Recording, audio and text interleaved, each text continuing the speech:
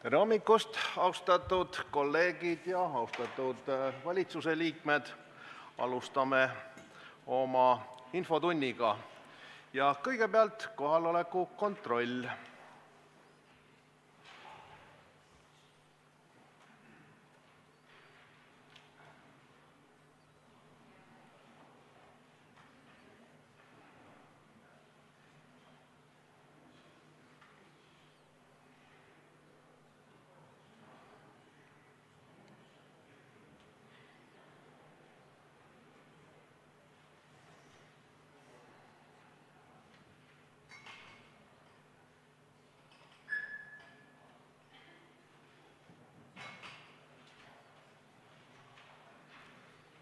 Kohal on 21 Riigikogu liiget, puudub 80.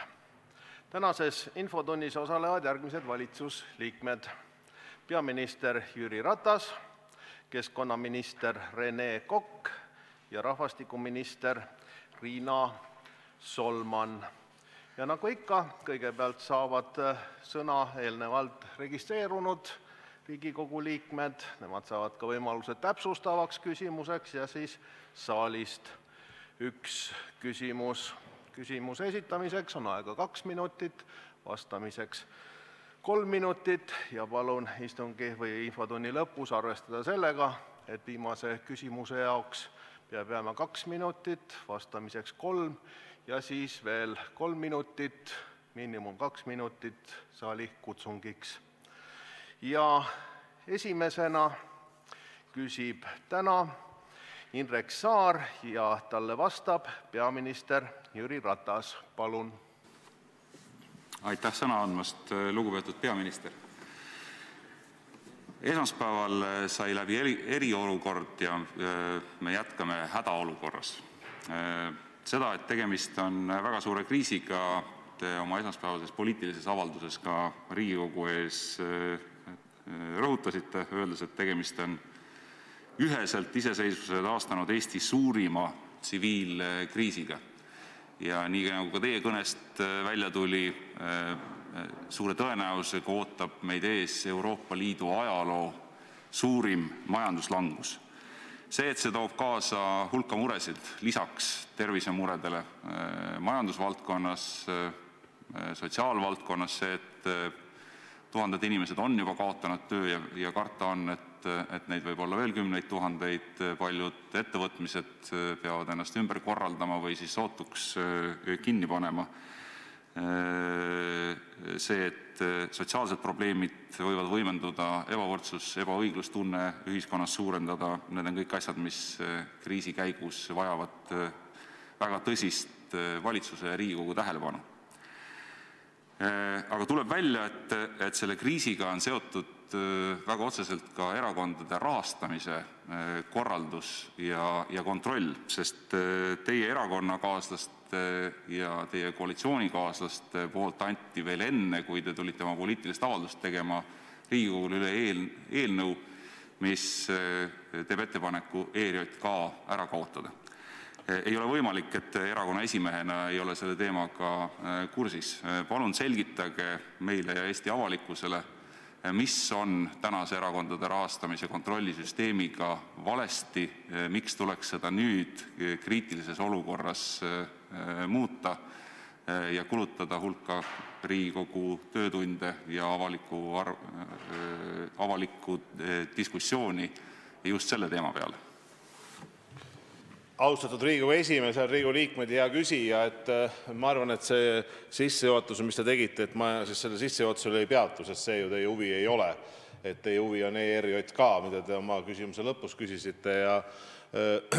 Jah, me oleme seda loomulikult kolme erakonna vahel arutanud ja kui te küsite minu isiklikku tunnetust, siis see on see, et erakondade järelevalve erakondade rahastamise järelevalve peab tõesti seda kvaliteeti veel rohkem tõstma, see peab muutuma veel tõhusamaks, veel paremaks ja kindlasti Riigikontrolli mina nendes küsimustes, mis on seotud usaldusväärsusega, erapooletusega, sõltumatusega, ka ressursiga ja kogemusega, mina nendes küsimustes kindlasti Riigikontrolli kahtluse alla ei pane. Vastupidi, ma arvan, et see annab ka erakondade rahastamise järelevalvele rohkem juurde, annab uue kvaliteedi!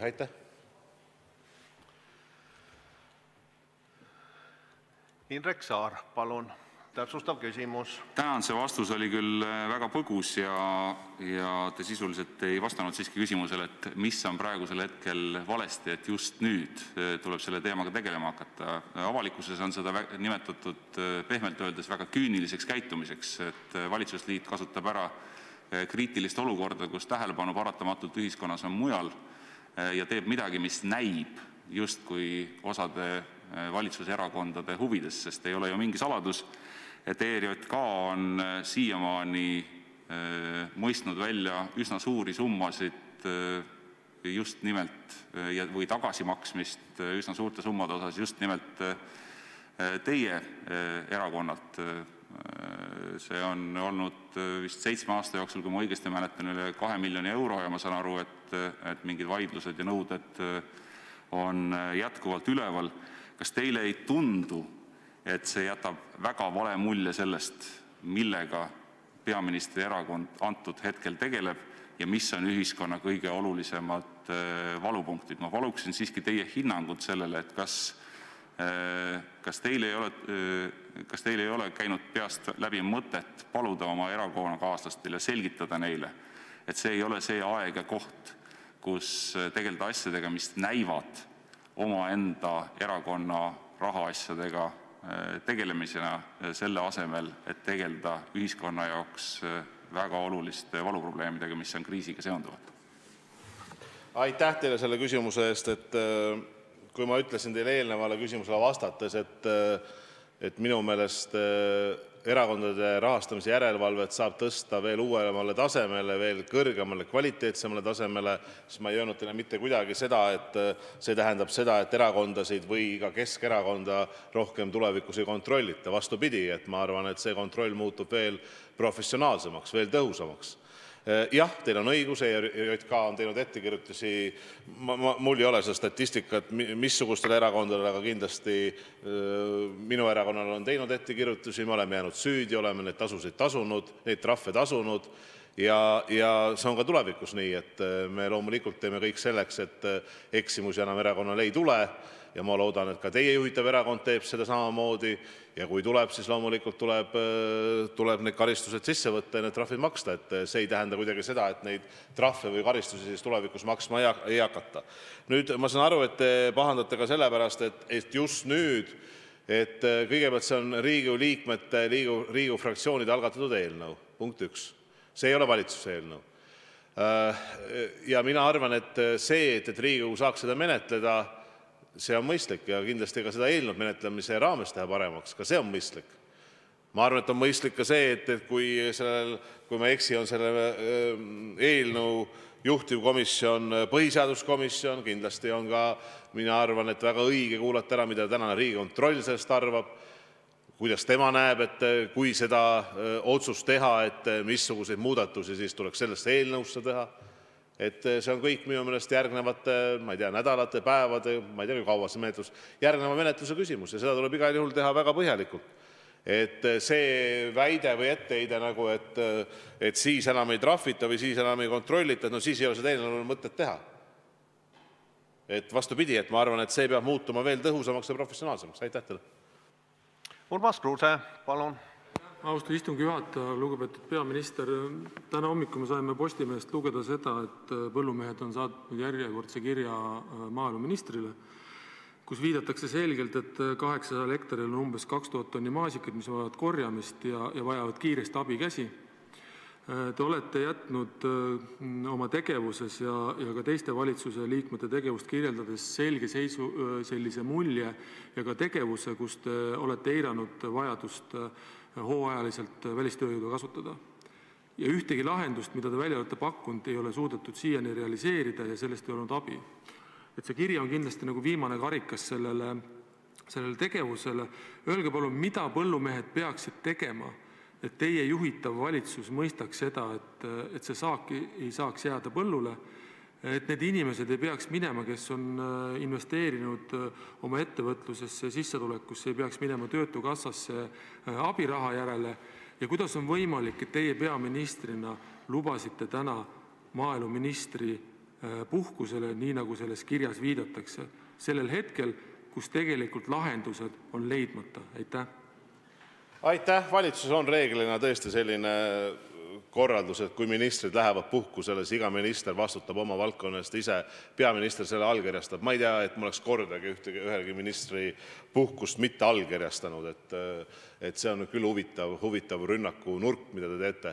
aga te küsisite, mida ollakse tehtud, ollakse tehtud seda, nagu ma olen teile vastanud, et on pikendatud inimestel just põllumajandussektoris töö tegemise võimal-, võimalust kuni kolmekümne esimese juulini. no me oleme sellest teiega rääkinud, ma arvan, kolmel-neljal korral, eks ju teiselt poolt, nagu ma vastasin siin mõni päev tagasi, on oluline ka see, et parandada suhtlust, Siseministeeriumi ja Töötukassa, et need inimesed, kes mingis sektoris jäävad täna tööta, aga oleks huvitatud edasi töötama, neid võimalikult kiiresti viia kokku põllumajandussektoriga ja põllumajandusettevõtetega. ja ma arvan, et väga oluline on ka see, et ikkagi me teeksime täna kõik ühiseid pingutusi, et epidemioloogiline olukord paraneks, et need piirangud väheneksid, leeveneksid ja ühel hetkel me saame öelda taas, et ikkagi piirid on avatud, normaalne liiklus on taas loodud, mis tähendab ka seda, et hooajatöötajad saavad Eestisse tulla ja siin rakendust leida aga on ka neljas pool, mis ei ole kindlasti kõige vähem olulisem ja, ja kõige viimane on see, et Eestimaa ise on kaotanud, Eestimaa inimesed, väga palju tööd, töötuid tuleb iga nädal juurde ja see on fakt. kui meil on täna Töötukassa meede, mis on olnud tõesti väga edukas ja efektiivne, siis nagu te teate, hetkel on selle meetme mõte olnud see, et, ta hüvitab märts-aprill ja maikuud ja siis see meede lõpeb. töötukassa on nõukogu tasemel seda arutanud, et teinud ka uue ettepaneku, et see võiks pikeneda juunikuus osas. küsimus on siis selles, mis tingimustel ja kas näiteks sinna tuleb ka riigisektorist lisaraha juurde panna. ma väga loodan, et me neid arutelusid saame pidada homme valitsustasandil ja kindlasti ka see on üks oluline nüanss kui palju Eestimaal on juunikuus töötuid ja kui palju tegelikult tööpuudus on kasvanud. nii et kõik need neli punkti, ma arvan, on olulised, ei ole nii, et me saame ainult ühe kaardiga või, ühe vitsaga seda küsimust lahendada ükski nendest, ma arvan, et ei anna täislahendust. võib-olla tõesti see, et kui viirusepuhang on igal pool selline, et piirid saab täielikult avatud, siis see on kindlasti kõige kiirem ja kõige efektiivsem lahendus ja ma usun, et selle nimel kõik ühiskonnad ka töötavad. aitäh teile! aitäh! lõpetan selle küsimuse käsitlemise ja järgmisena küsib Kaja Kallas ja talle vastab peaminister Jüri Ratas. palun! Aitäh! Hea, peaminister, eriolukord on tõepoolest selleks korraks läbi ja nagu on juttu olnud, ka teie ise olete öelnud ja erinevad hinnangud on olnud, võib-olla tuleb teine laine. eks me teame, et see, et me suutsime sellele esimesele lainele nii hästi vastu pida-, pidada või hakkama saada, on olnud Eesti inimeste suur panus ja kindlasti hoitakse ka seda joont, et teist lainet ei tuleks, ei tuleks nii suurt. Aga siiski, mis inimesi huvitab, mis puudutab inimeste igapäevast elu, on see, et kui tuleb teine laine, milliste piirangutega ikkagi peab arvestama. ja selgelt te ju teete valitsuses mingeid arutelusid sel teemal, mis on need piirangud, tuli just uudis alles sellel nädalal, et sügisel peab võib-olla olema valmis uuesti koolid kinni panema, minema üle distantsõppele. mis on need asjad, millele te nagu ütlete, et, et sellised asjad tulevad, need on need kavad, mida te kavatsete siis ellu viia, sest et ettevõtjatele, töötajatele, ka inimestele, kes peavad lastega kodus õppima, neid sõnumeid on vaja teada, sest et ei tea oma samme seada tegelikult tulevikuks. Mis on need arutelud, kuhu te olete jõudnud sellega, kuidas järgmiseks laineks valmistuda? aitäh! teile ja kindlasti väga tähtis ja oluline küsimus, äh, vaevalt, et ka teie oskate öelda, missugune see teine laine saab olema. ma ei ole veel ühtegi ametikaaslast maailmas kohanud ja ei ole ka ükski, doktor ega viroloog ega epidemioloog öelnud, missuguseks see teine laine kujuneb loomulikult siis on küsimus, missugustel maailmajagudel ja, riikides, ta kujuneb. aga selge on see, et, et selleks teiseks laineks, et prioriteet number üks vähemalt minul on jätkuvalt rahva tervis äh, ma arvan, et sellest ei saa me üle ega ümber, et rahva tervise aspekt on kõige tähtsam ja kõige olulisem. see on see, mida me peame kaitsma ja mille nimel me peame tegutsema esimesena. Nüüd äh, see majanduspiirangud ja ütleme majanduse teatud sektorite ettevõtluse sulgumine on loomulikult äh, õigustatud küsimus ja ma arvan, et kõige olulisem õppetund järgmiseks korraks on see, et kõiki neid piiranguid teha nii lokaalselt kui võimalik. ja eks ka selle kriisi, lõpupoole, kui see puhang ei olnud enam nii suur, siis see teatud õppetunde meile andis. Eh, te olete mitu korda sedasama küsimust küsinud ja, ma olen ka teile osas vastanud, et et üks selleks oluliseks õppetunniks on olnud see, et, kui võimalik, siis sulgeda lokaalselt teatud aadressid, seesama Tartu linna, Tartu ühiselamu näide, eks ju, oli see võimalus, kus Raatuse tänav kakskümmend kaks eh, suleti konkreetselt üks hoone, seal toimus piirangute panemine ja mitte üle Tartu linna.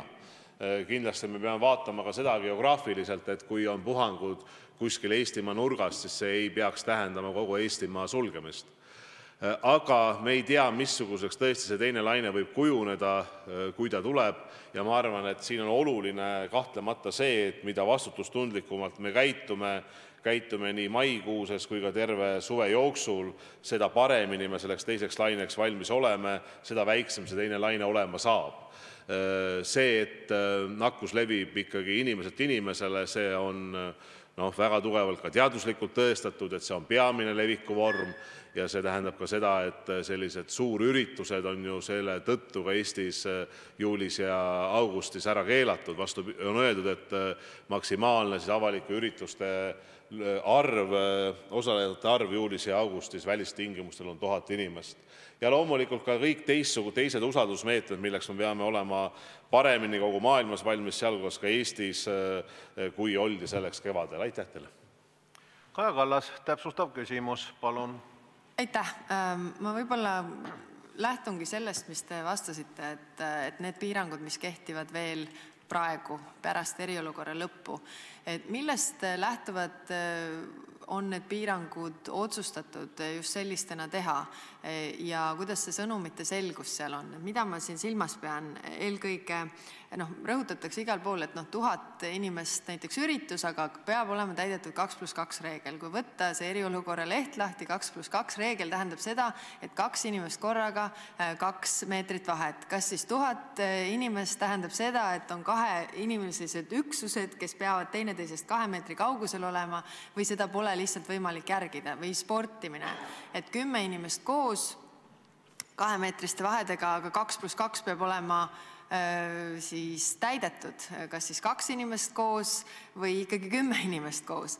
Äh, neid reegleid on palju äh, või siis seesama, et näiteks restoranis sa võid olla kella kümneni ja siis kell kümme tuleb, eks ole, politsei trahvima inimesi, kes seal restoranis on ja seda restorani pidajat. et kas see, kas see viirus hakkab pärast kella kümmet kuidagi rohkem levima, et et see restoran tuleb siis kinni panna või millest lähtuvalt see otsus on tehtud.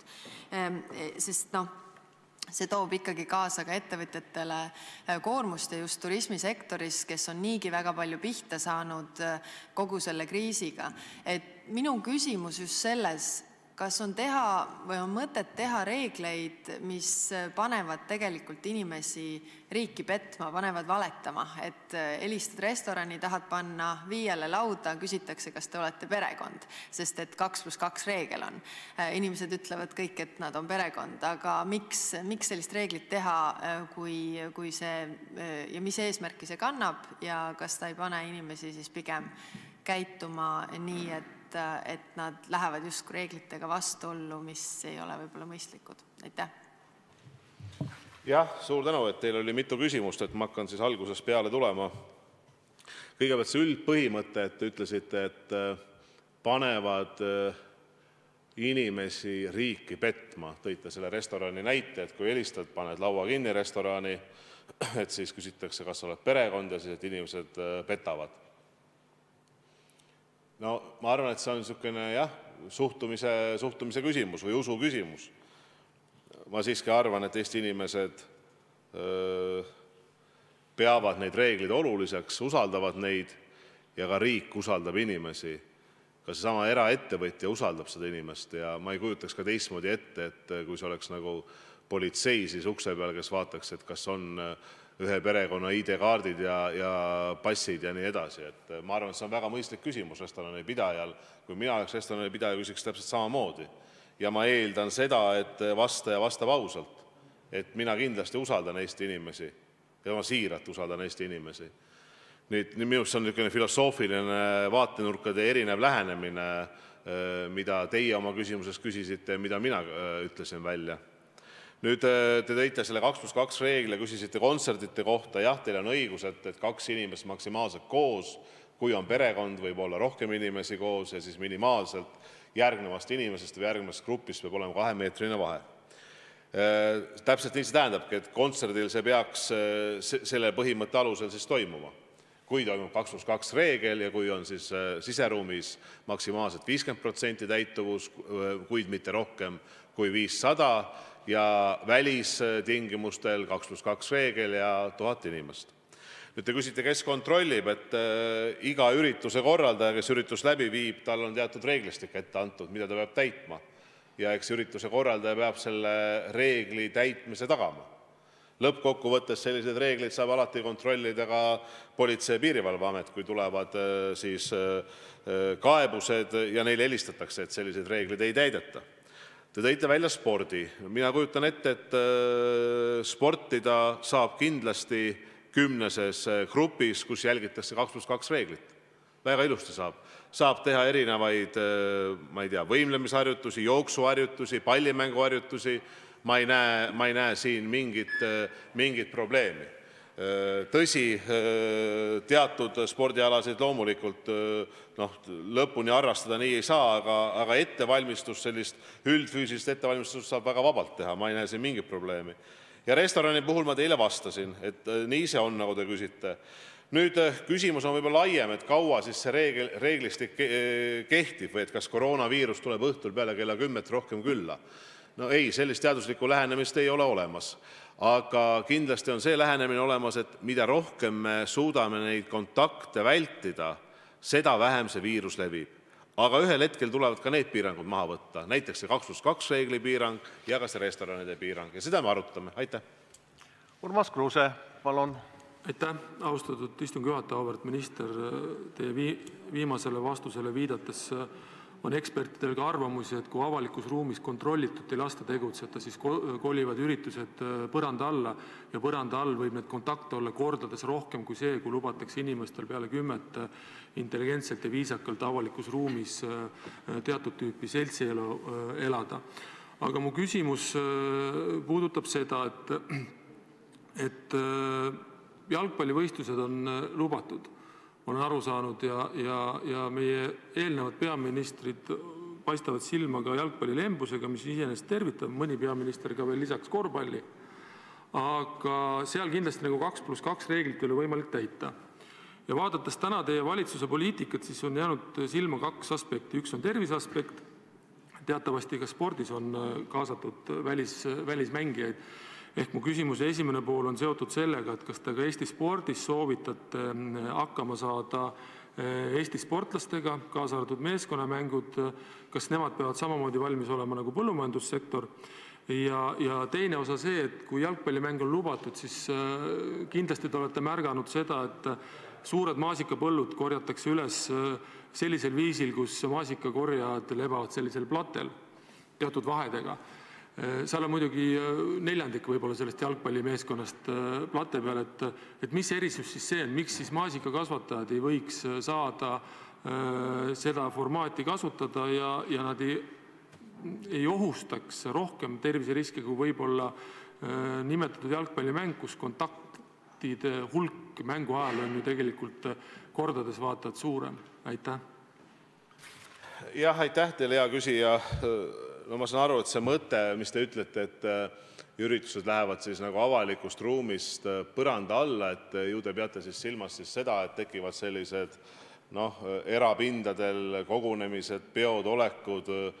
ma ei taha küll öelda, et juubelid, seal on põrandaalused üritused, mina sellist suhtumist kindlasti ei alla ei kirjuta ega poolda juubelid ei ole kuskil põranda all, toimuvad ilusad sünnipäevad ja juubelid ja aga tõesti, need on erakogunemised ja neid ei ole reguleeritud.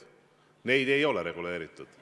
aga vaadates erinevaid sõpruskondasid, suheldes, siis ma pean ütlema, et minu meelest väga paljud lähtuvad ka oma sõpruskondades täna sellest, et kokku ei saada või saadakse kokku väga väheste, ütleme, leibkondade vahel ja see toimib minu meelest väga hästi.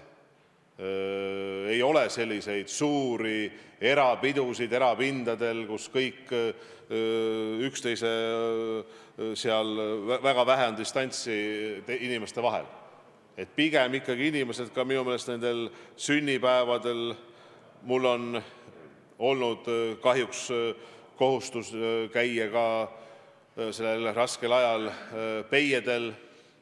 No seal oli samamoodi, et peielauas oli distants, oli näha kohe, et vähem inimesi oli matusel, vähem inimesi oli peiedel. Ja ma usun, et ka täna sellised suured positiivsed üritused, milleks on pulmad või, juubelid, kui neid on võimalik, inimesed on lükanud edasi ja teevad seda oma isiklikust vastutustundest nii et neid märgistada kuidagi, et need on põranda all ja kuidagi vähem siis nagu te ütlesite, nõuetele vastavad, selle, sellega ma kindlasti nõus ei ole, et ma usun, et väga paljud eraüritused tagavad desinfitseerimisvõimaluse, tagavad selle, et tõesti sellist kokkupuudet, lähi, lähidistantsi võib-olla, mida oli eelmise aasta kevadega võrreldes, on sellel aastal kindlasti vähem. seda ma ei saa öelda, et see on sajaprotsendiliselt nii.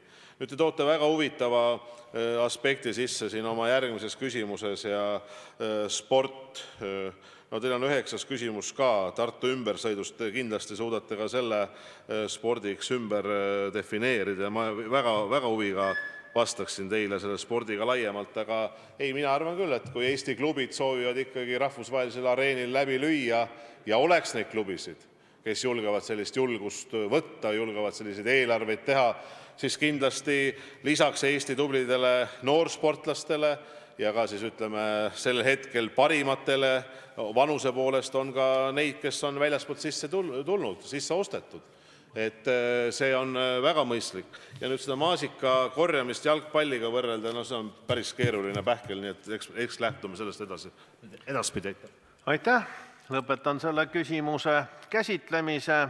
küsimuse number kolm esitab Lauri Läänemets ja talle vastab peaminister Jüri Ratas, aitäh, lugupeetud Riigikogu esimees, lugupeetud peaminister.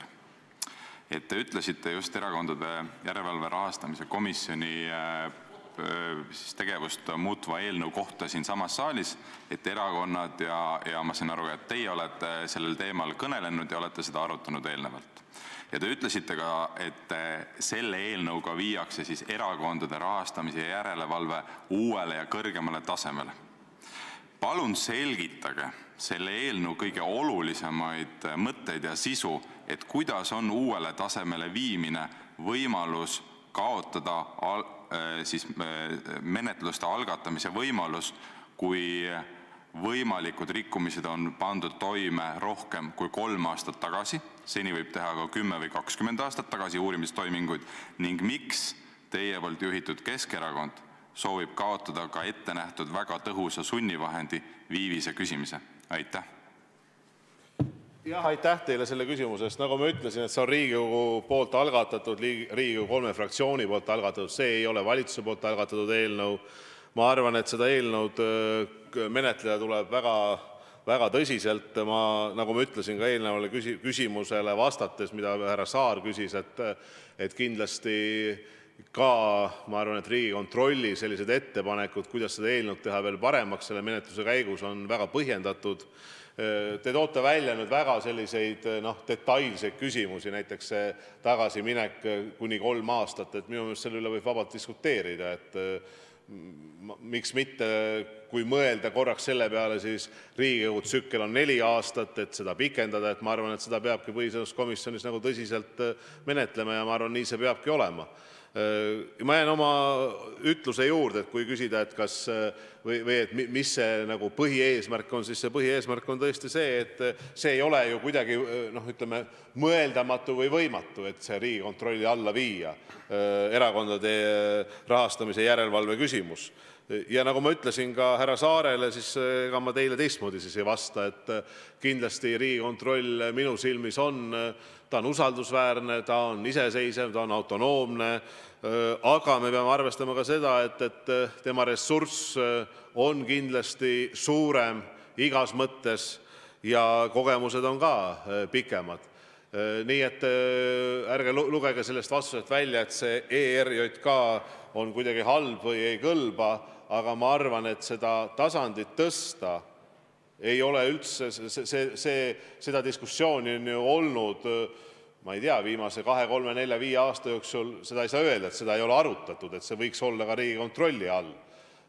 nii et minu meelest seda diskussiooni võiks siin Riigikogus pidada aga veel kord, et eh, see rahastamise küsimus, või järelevalve küsimus, ei saa nagu leeveneda või see, ei saa kuidagi hägusamaks muuta, et vastupidi, ma arvan, et see on uus tasand, uus kvaliteet ja sellest tuleb lähtuda. see, mis on konkreetsed paragrahvid seal või, ajaline tagasiminek, see on ju kõik menetlemise ajal saab neid ettepanekuid teha ja, tulebki teha.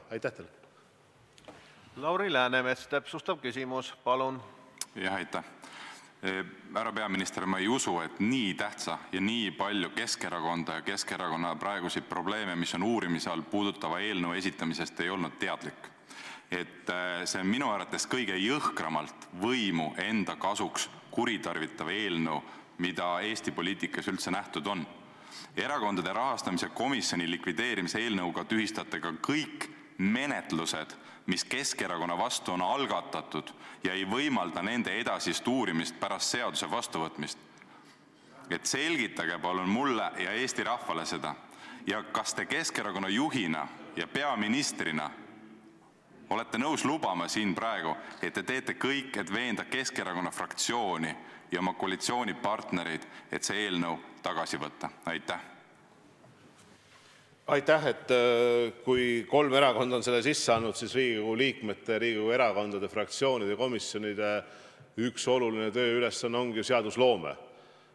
äh, ma, ei saa aru, mis te siin kõva häälega minuga kärgite, äh, kui Riigikogu soovib midagi menetleda, siis see on demokraatliku ühiskonna tunnus ja, ja ma kindlasti seda toetan. kui te ütlete, et te mind ei usu, no ma ei saa muud teha, usute või ei usu, see on ju teie küsimus, nagu ma ütlesin, see ei ole valitsuse algatatud, punkt üks on Riigikogu liikmete või Riigikogu fraktsioonide algatatud, punkt kaks, siin pidada teiega detailset vestlust kõikide lõigete ja punktide osas, ma arvan, et see menetlus peab toimuma Riigikogus. nüüd te seote selle kuidagi ära ainult Keskerakonnaga, ma vastasin ka teile, et Keskerakond on saanud oma valusad vitsad ma ei ole seda kunagi eitanud, me oleme need trahvid tasunud ja ka tulevikus, kui üks erakond saab ja võib-olla juhtub härra Läänemets mõnikord nii, et see on Sotsiaaldemokraatlik Erakond, siis tasute ka oma, kohustused, nii see peab olema. Nüüd see teie üks väide nagu, et mingid asjad siis kukuvad ära, ma arvan, et need vaidlused, mis on täna üleval, neid vaidlusi tuleb edasi pidada aga tuleviku mõttes, et kuidagi oleks mingi ajaline piirang, andke andeks, aga ma mäletan, seda on erinevad erakonnad öelnud, Rahvaliit ka on seda öelnud, et teatud, ajas tagasiminekud, teatud menetlused tuleks ära piirata aastatega. Ja neid, paralleele me võime tuua päris palju ka tänases seaduses, kus on mingid eksimused ära piiratud teatud aastatega, tagasi rohkem ei minda ja selle üle, kas see on kolm või, või on see mingi muu arv, minu meelest põhiseaduskomisjonis ja siin täiskogus need, need debatid peaksid käima. aitäh teile! Kristina Šmigun-Vähi, palun! jaa, aitäh, lugupeetud istungi juhataja, lugupeetud minister! et ma ei hakkaks siin üldse nii pikalt tegema sissejuhatust ja rääkima, kui olulised on spordiklubid, erahuvikoolid, huvikoolid, vaba aja keskused, et lähen kohe küsimuse juurde. et käimasolevast nädalast said oma ruumid avada siseruumides tegutsevad spordiklubid ja vaba aja keskused, on ka huvikoolid ja erahuvikoolid. nüüd eriolukorrast väljumisreeglid ei võimalda paljudel spordiklubidel toimida sada, saja protsendi täituvusega. lapsi, noori, harrastajaid on gruppides rohkem, kui need reeglid ette lubavad ja see tähendab, et spordiklubide, vaba aja keskuste sissetulekud võivad jääda poole võrra väiksemaks ja mõnel juhul isegi kolmveerand võrra väiksemaks. Ja nüüd me teame ka, et kohe tuleb suur suvi, lapsed lähevad koolivaheajale ja tavaliselt spordiklubid ja erahuvikoolid, ei tööta niisuguse täisvõimsusega suvel mu küsimus ongi, kas Vabariigi Valitsusel on plaanis järgmise eelarve koostamisel välja töötada siis lisatoetusi spordiklubidele, vaba aja keskustele, huvikoolidele, erahuvikoolidele?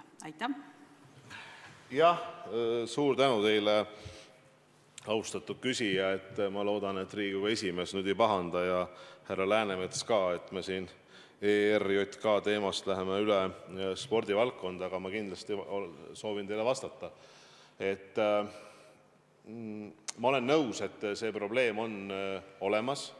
Te küsite, kas sügisest või, ütleme, noh, et eelarves me näeme ette mingeid toetusi klubidele, et vastus on, et me oleme ette näinud ju kõigepealt eraharidusele, erahuvikoolidele tänases lisaeelarves on Riigikogu ette näinud 15 miljonit eurot.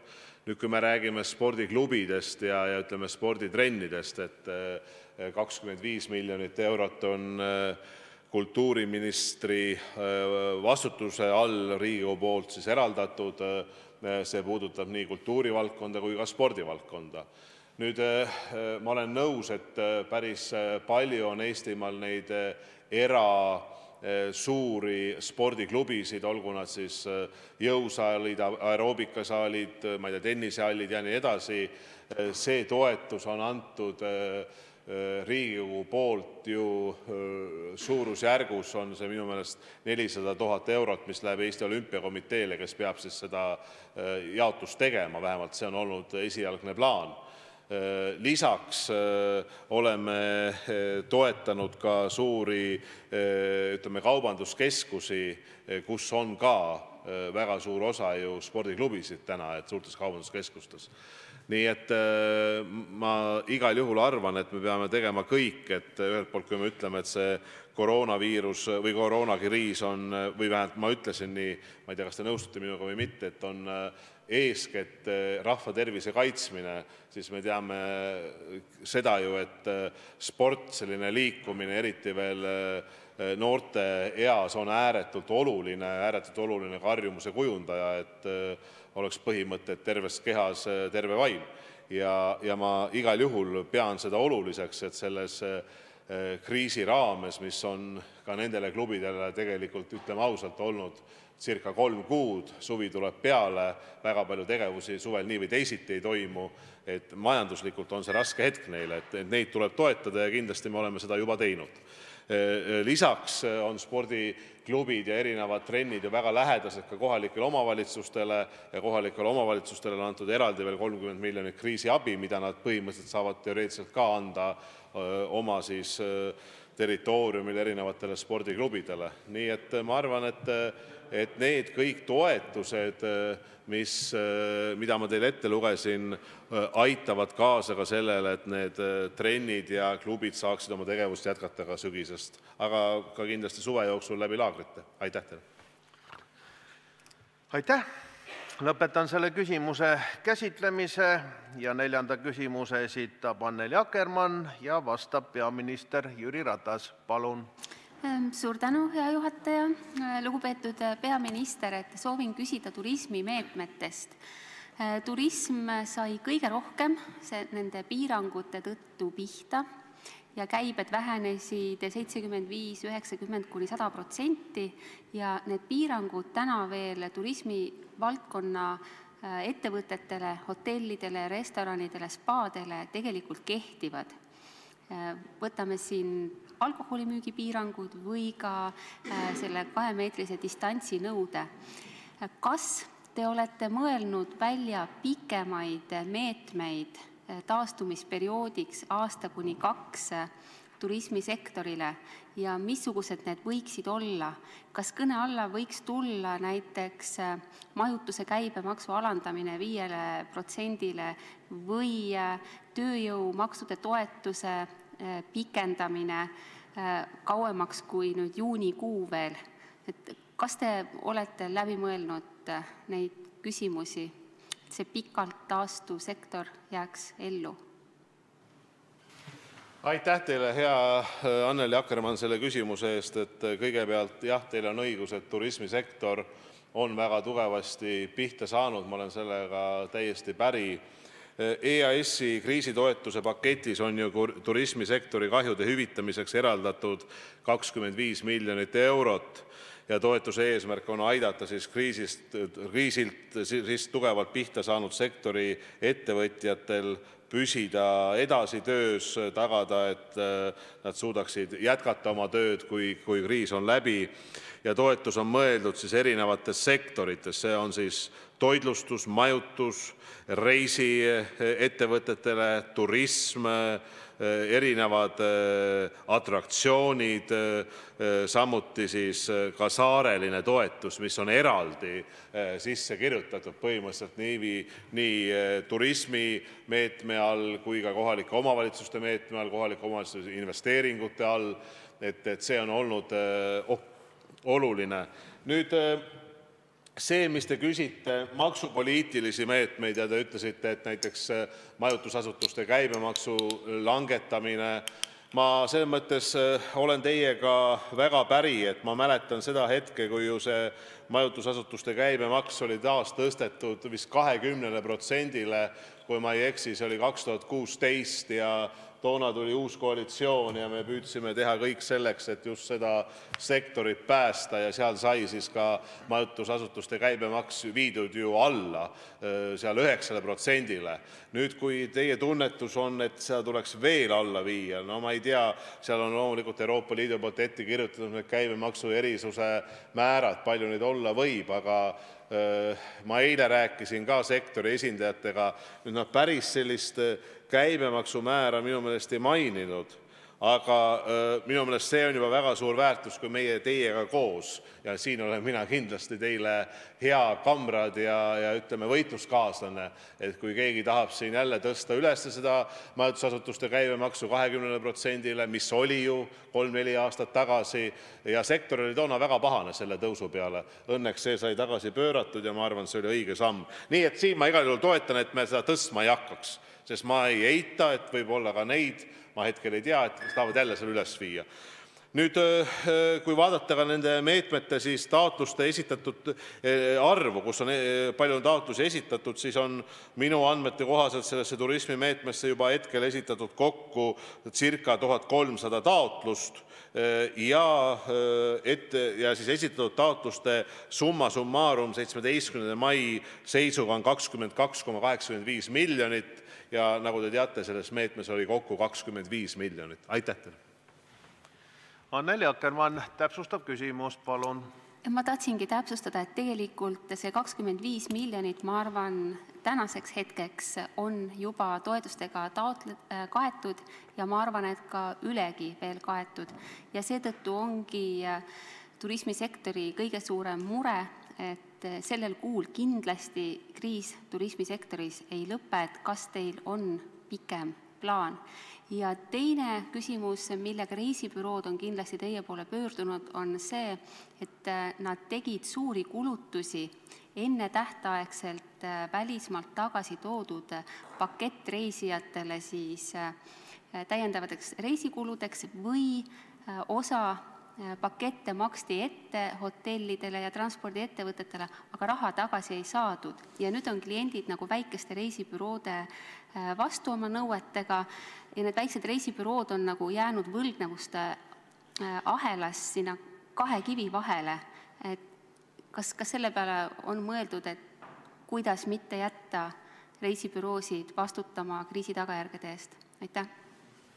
Jaa, aitäh teile selle küsimuse eest, äh, ma nii palju veel tõesti statistikat annan, et äh, tänase, 20. mai seisuga mul ei ole seda äh, anda, aga 17. mai seisuga on ja siis võib öelda nii, et taotluste hindamisega see töö ju käib ja ligi 11% taotlustest on jõutud otsuse langetamiseni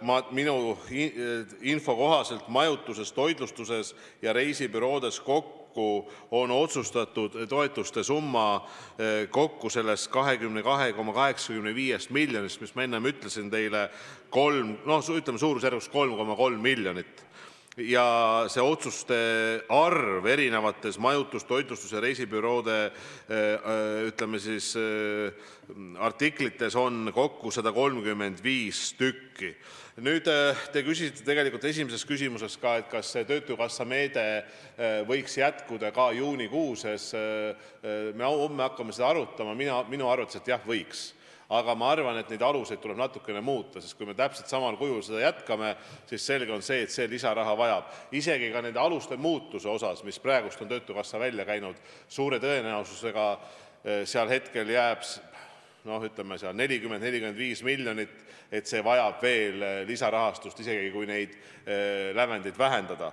nüüd teie küsimus pikas plaanis, mis saab nendest väikestest reisiettevõtetest, et seal ma tean tõesti, et on need niinimetatud noh, teatud võimalused loodud, et inimesed siis ei nõuaks kohe seda raha tagasi, vaid see reisiettevõte peab teatud aja, jooksul pakkuma teenust sama siis vääringu ulatuses aga loomulikult, kui, inimesed ütlevad, et nad soovivad seda raha täna ja kohe tagasi, siis ma arvan, et siin, võib tulla päris palju ka õiguslikke vaidlusi ja mis kõige hullem, ühel hetkel võib tulla see, et lihtsalt nagu te ütlete ka, see väike reisiettevõte on juba kohustused ette ära tasunud, sealt kaugelt maalt, välismaalt neid summasid tagasi ei saa, tal tekib likviidsusküsimus, mis võib väga kurvalt selle ettevõtja ja ettevõtte jaoks Äh, lõppeda, nii et äh, ma loodan ka, et äh, siin siis need, kes on teenuseid ostnud nendest ettevõtetest, et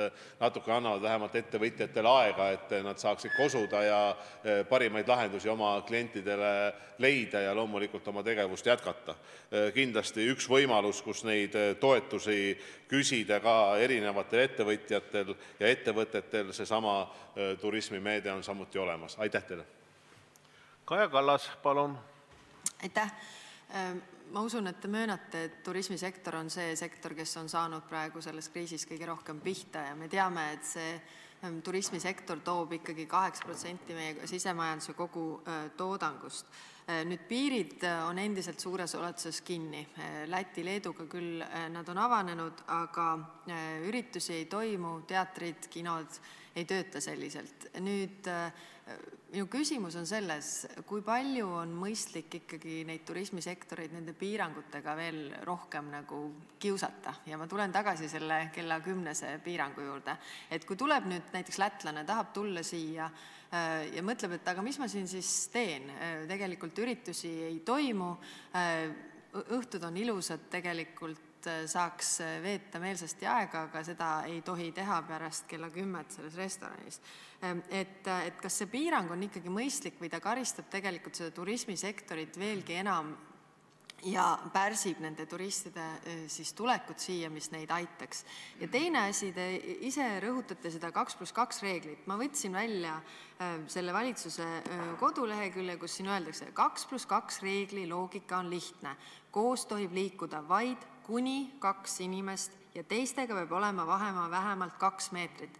kui on tuhat inimest lubatud, äh, siis kuidas saab seda kaks pluss kaks äh, reeglit äh, kasutada, et kaks inimest ikkagi ainult koos on?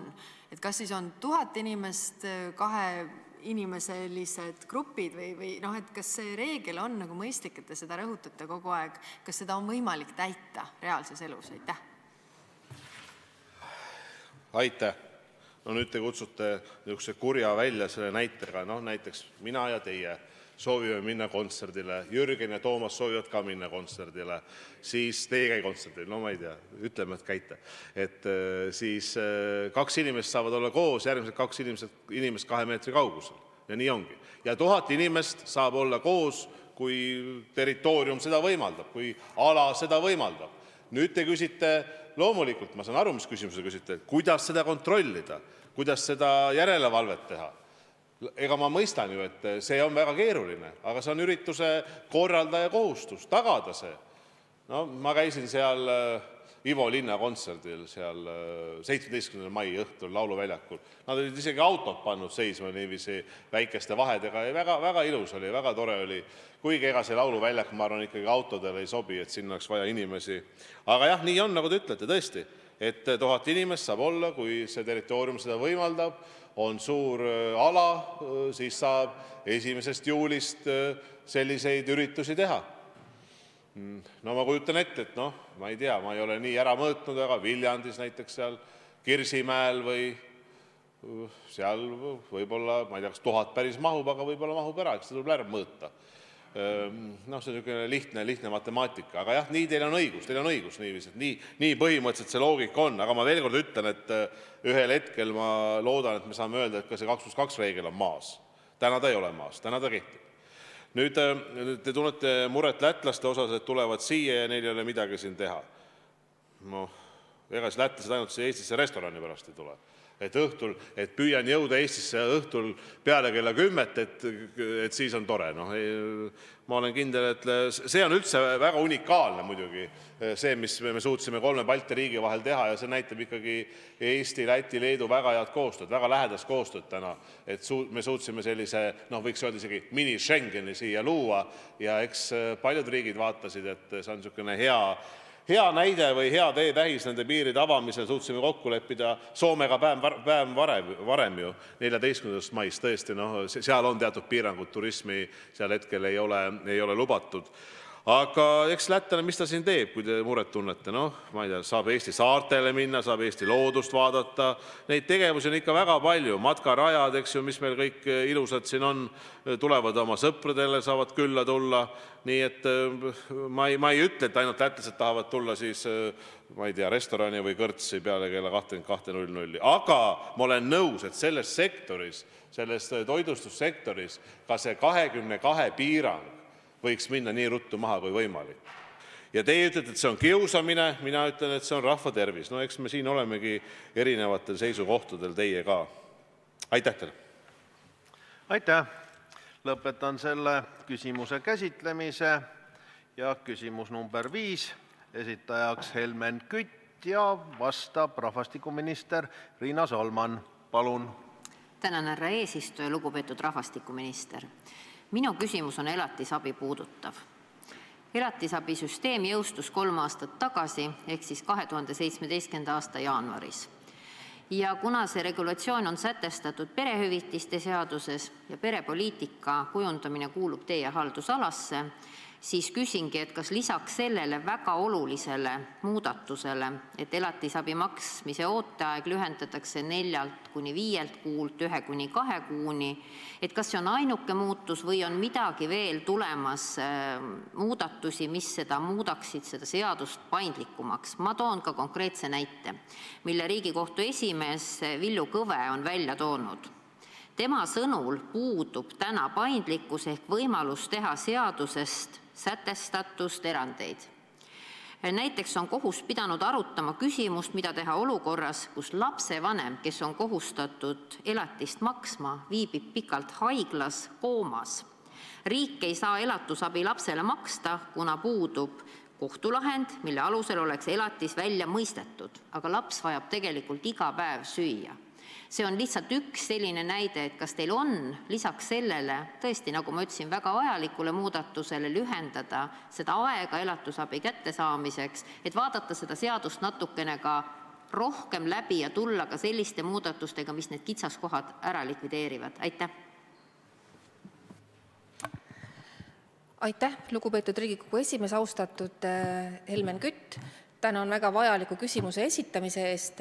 nagu alati, teie poolt tulevad sellised terased tähelepanekud, mis väärivad edasi käsitlemist.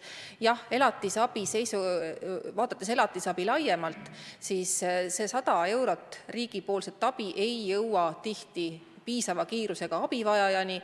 nagu te märkisite, perehüvitiste seaduse muudatuses me soovime muuta, teha muudatusettepaneku, et, et see raha saamine liiguks neli-viis kuud ettepoole, et vähemalt siis need, kellel ta on juba garanteeritud, saaksid selle abi varem kätte.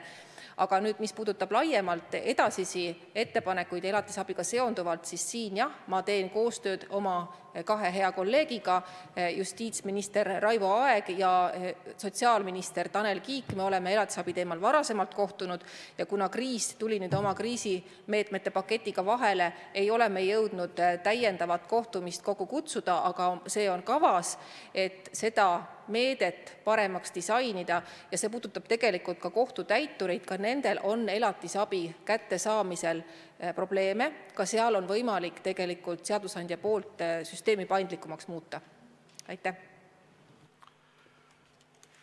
Helmen Kütt, täpsustav küsimus, palun! Aitäh, suur aitäh, et te seda hoiate nagu vaateväljas ja sellele mõtlete, et mõelge siis selles osas ka, mis puudutas seda konkreetset näidet.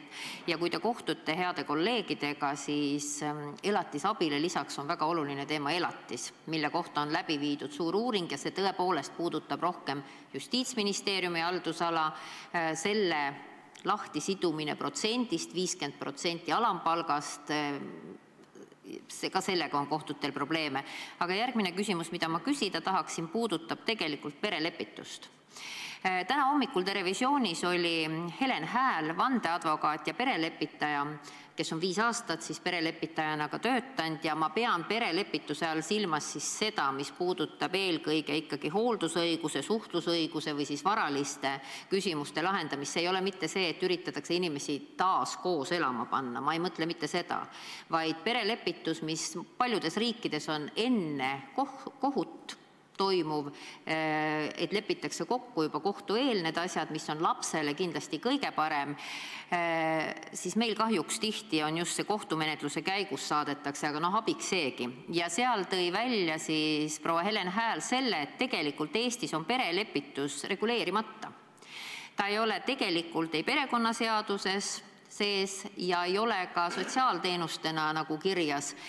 Te olete kriisimeetmena tulnud nüüd välja lastega perede nõustamise, see on üks koma seitsekümmend kuus miljonit eurot, see summa, mis on selleks ka raha ette nähtud, et võib-olla te annate väikse ülevaate sellest ja, siis see perelepituse teema korral veel ka see, et kas on plaanis perelepitus kuidagi reguleerida ka seadustes, kas või vajadusel arutada seda koos sotsiaalministri ja justiitsministriga, sest väga palju neid teemasid, mis lapsi ja peret puudutab, on tõesti teie kõigi kolme haldusalas.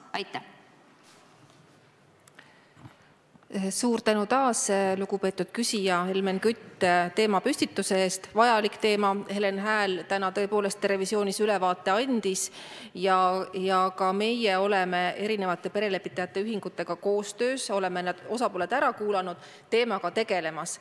nüüd kriisi ajal tõepoolest tulid esile kiiresti muutmist vajavad teemad nende hulgas ka perelepitusteenus. see väli on tõepoolest kõige segasem, see nõuab täiendavat analüüsi, täiendavaid kokkusaamisi, kohtumisi ja erinevate osapooltega.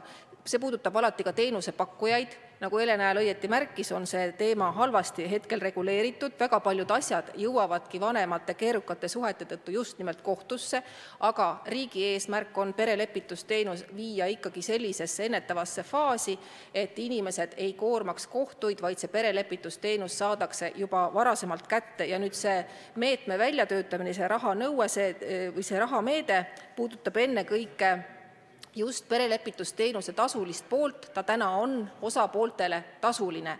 ainult Tartu minu teada pakub seda tasuta, Tallinna linn pakub seda teenust abivajajatele tasuta, aga enamuses on perelepituse teenused tasulised seansid ja kindlasti ühest nõustamiskorrast, mis maksab circa kuuskümmend eurot, teenushinnad on erinevad, ei piisa, vaja läheb tavaliselt viis-kuus nõustamist ja kui siis ka vanemad kokku ei lepi, siis liigub edasi juba see perelepitus kohtusse ja me teame, et see on lastele kõige kahjulikum, see on kõigile osapooltele vaimselt närve sööv ja pinget tekitav ja seda enam, et praegu kriisi ajal on vaimse tervise teemad väga teravalt esile tõusnud.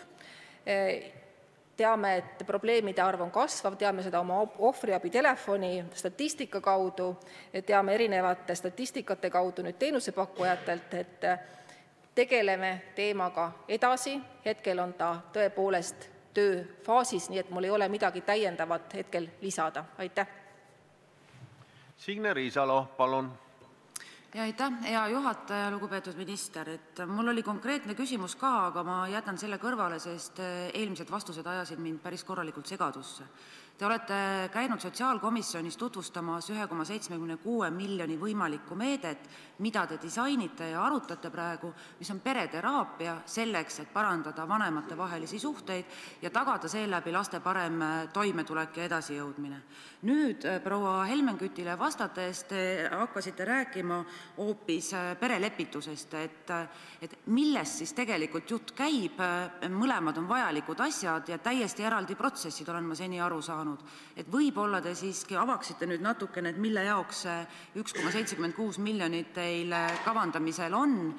perelepituse kohta me juba kuulsime, aga selle pereteraapia kohta ja kui proua Helmen Kütt alustas oma küsimust elatise teemadega, õigemini elatisabi teemadega, siis siin mul on ka kommentaar, millele te saate vastata. nimelt pankrotiaegne elatisabi, et selle lahendused õiguslikult, kas need on ette valmistatud või millal nad võiksid ka Riigikoguni jõuda? Eriti oluliseks on see muutunud nüüd, kus me teame, et inimeste materiaalne toimetulek näitab langustrendi ja, ja kõik teadmised, mis meil selle kohta on, ütlevad, et töötus aasta pärast ja vaesus paari aasta pärast on meil kõige keerulisemas olukorras ja peab vaatama perede toimetulekut. Lugupeetud küsimuse esitaja Signe Riisalo, tõepoolest vabandan, Helmen Kütt küsis minu sotsiaalkomisjonis esitatud punkti kohta ja kuna Helen Hääl konkreetselt tegeleb perelepitusega, kaks teemat said ühte patta, keskendusin ma vastamisel rohkem perelepitusteenusele. tõepoolest, see, mida ma sotsiaalkomisjonis esitlesin, see ettepanek on tööfaasis ta ei ole veel leidnud toetust kõikidelt vajaminevatelt osapooltelt, seetõttu mul seda on keeruline rohkem kommenteerida, aga see on tõepoolest mõeldud meede pereterapeutidele täiendava rahalise toe andmiseks, et riik saaks aidata hädas olevaid perekondi, lapsi, inimesi, kellel on vaimse tervise probleemid.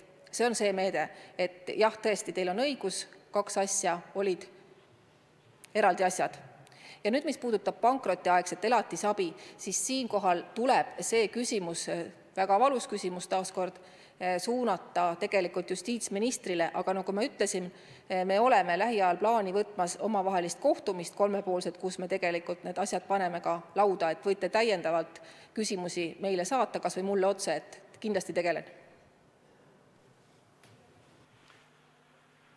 aitäh! lõpetan selle küsimuse käsitlemise ja järgmisena küsimus number kuus. selle esitab Toomas Kivimägi ja vastab peaminister Jüri Ratas. palun! lugupeetud peaminister! minu küsimus puudutab turbulentse lennunduses. seekord mitte neid, mida me õhus tunda saame, vaid ülekantud tähenduses inimtekkelisi olen leebelt väljendades eh, tegelikult väga murelik, eh, tihtipeale lausa vastandliku poliitika pärast lennunduse strateegias. ma usun, ka teie mäletate aegu, kus unistati Haabist ja kulutati sinna kümneid miljoneid eurosid. Te kindlasti mäletate aegu, kus öeldi, et otselennud Euroopa metropolidega on need kõige tähtsamad asjad, siis võeti jälle sada kaheksakümmend kraadi pööre, öeldi, et tähtsad on hoopis allhanked ja nüüd äh, taas kord on Euroopa otseühendused võetud äh, sihiks ja, selleks põletatakse kolmkümmend miljonit maa peal, ilma et ükski lennuk õhku tõuseks. samal ajal, kui me teame, et tegelikult lennufirmad on täna lendamise järele näljasemad kui kunagi varem. aga minu küsimuse ajend on tegelikult äh, minister Aasa poolt pühapäeval välja antud korraldus, millega keelati lendamine Taani, Ühendkuningriiki, Hispaaniasse, Rootsi ja veel mitmesse riiki.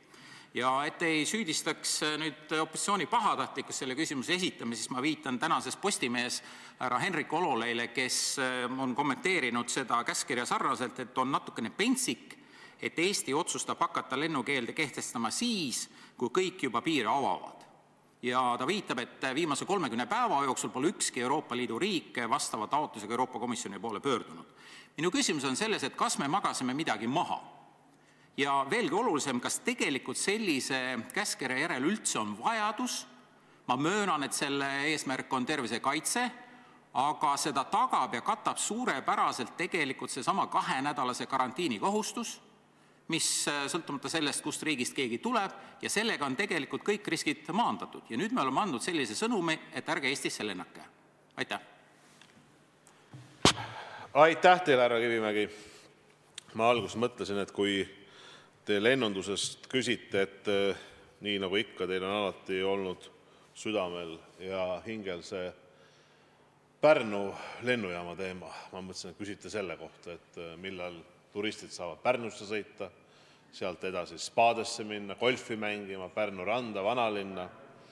aga te küsite palju globaalsemalt ja te räägite, ma saan aru, Tallinna, suundadest ja ühendustest. Äh, jah, see, mis te ütlesite, et teile tundub nii, vastab tõele. loomulikult see on ju seesama epidemioloogiline olukord äh, teistes äh, riikides, peame seda järgima, ma arvan, see on oluline. kui te ütlete, et teised hakkavad avama ja meie hakkame sulgema edasi, siis ma arvan, see päris nii ikka ei ole. ma arvan, see päris nii ei ole ja küsimus on võib-olla selles, et kõik ei ole neid teavitusi teinud, aga ma just võtsin välja äh, see nädal, meil hetkel peaks olema siis üheksa regulaarliini, see on Helsingiga läbi Finnairi, Amsterdam Air Baltic, Riia Air Baltic, äh, Frankfurt Lufthansa, Kopenhaagen Air Baltic, Oslo Air Baltic, Minsk hetkel lendab, Belavia, Kuressaare ja Kärdla, äh, Transavia Via Baltica jah, loomulikult meie soov on ka ju neid lennuliine avada nii paljudega kui võimalik, aga me peame jälgima, nagu ma ütlesin, epidemioloogilist olukorda teistes riikides ja see ongi tegelikult see alus. on ju kokku lepitud, see on väga tore, et on kokku lepitud siis selline kriteerium lendude lubamiseks ja see ütleb seda, et kumulatiivse 25 nakatumise määr 100 000 elanikkonna, elanikkon-, elaniku kohta kahe nädala jooksul. Ja ta ütleb et 14 päeva jooksul on 100 000 elaniku, elaniku kohta haigestunud maksimaalselt 25 inimest nüüd äh, tuleb vaadata ka seda veel, et eelnevat äh, tuleb võtta arvesse, et äh, nii majandus- ja taristuminister kui ka on sotsiaalminister oma ametikaaslastega suhelnud ja püüdnud leida ühtset, lähenemisnurka, millal lende me saame lubada avada erinevatest sihtpunktidest. Iga päevaga muutub see pilt järjest paremaks, paremaks, paremaks järjest rohkem me saame lende avada. nagu te mäletate, eelmise nädala lõpus oli siin natukene vaidlus näiteks äh, minu meelest äh, Kopenhaageni osas, noh täna, nagu ma ütlen, lendab ja kõik on hästi. aitäh teile! Toomas Kivimägi, täpsustav küsimus, palun! aitäh, härra juhataja! austatud äh, peaminister, et ma palun ikkagi vastata sellele küsimusele, et kas oli vaja üldse sellist käskkirja anda toon lihtsa näite, et me keelame lendamise Stockholmi ja Tallinna vahel, samal ajal kui Stockholmist läbi Helsingi või läbi Frankfurdi võib rahumeelde Eestisse tulla. milleks seda teha? ja ma ütlen veel kord, et kui kehtib see nõndanimetatud kahenädalase karantiini nõue, see maandab kõik riskid maha, loomulikult see kahenädalase karantiini nõue ei ava ka mingit turismi, aga vähemalt me ei pea mingit administratiivset käsku või keeldu tegema selleks, et kellelegi ära keelata seda enam, et see annab tegelikult natukene ka protektsionistliku maiguga selline käskkiri et äh, kuidas see lugu oli ju, Air Baltic teatas reedel, et ta tahab hakata lendama muuhulgas ka Kopenhaagenisse ja siis alles ärgati Majandusministeeriumis ja siis alles pühapäeval tehti otsus, millega keelati Kopenhaagenisse lendamine see kõlab, jätab mulje sellisest protektsionistlikust käitumisest. Ja on selge, et äh, protektsionismi levides kaotavad väikeriigid ennekõike, nii et me ei tohiks mitte kuidagi selliseid sõnumeid minu hinnangul äh, välja anda. ja teine küsimus on tegelikult seesama Valgevene Minsk, millele te viitasite, no mis ma ütlen, on lausa kuritegelik tegelikult, et see lendamine on olnud avatud terve selle eriolukorra ajal. Ja lendamine Valgevenesse, Minski on lubatud veel ka täna. Ja me ütleme, Stockholm ei tohi aga Minskisse tohib. ja, kuidas selles riigis need asjad korraldatakse, selle kohta Postimehe ajakirjanik äh, härra Poom ütles äh, üsna vürtsikalt, et me lubame lendamist riiki, kelle juht ravib viirust viina ja paraadiga. ja nii see tegelikult on, kui me võtame andmete usaldusväärsust, mida ühes või teises riigis rakendatakse ajakirjanik Raimo Poom Postimehest kasutas sellist vürtsikat väljendit ja, me teame. ja nüüd me oleme öelnud Rootsile ja Ühendkuningriigile ei ja Valgevenele ütleme ka veel täna jaa. et see on minu arvates täiesti lubamatu risk ja väga halb sõnum, mida me anname oma partneritele Euroopas. aitäh! härra Kivimägi, nüüd te minu meelest lõhkasite selle infotunni üllatuspommi. kui see vastab tõele, siis ma soovin muidugi Raimo Poomile jõudu Postimehes minu teada ta töötab Päevalehes ja Delfis, aga te ütlesite Postimehes. jah, aga pole hullu, kui see nii on, eks jõudu talle, ta on tubli ajakirjanik ja ajakirjanikud ikka liiguvad. nüüd äh, Minski juurde. Minski lennufunktsioon on olnud ju terve selle kriisi hoopis teine, see on olnud see, et sealpool maakera on aidatud või on võimalus olnud Minski kaudu tulla tagasi kodumaale, Eestisse näiteks. ja, see on tegelikult toiminud just niipidi. minu meelest see lend on kas kolm või neli korda nädalas, päris usinas, päris usinasti.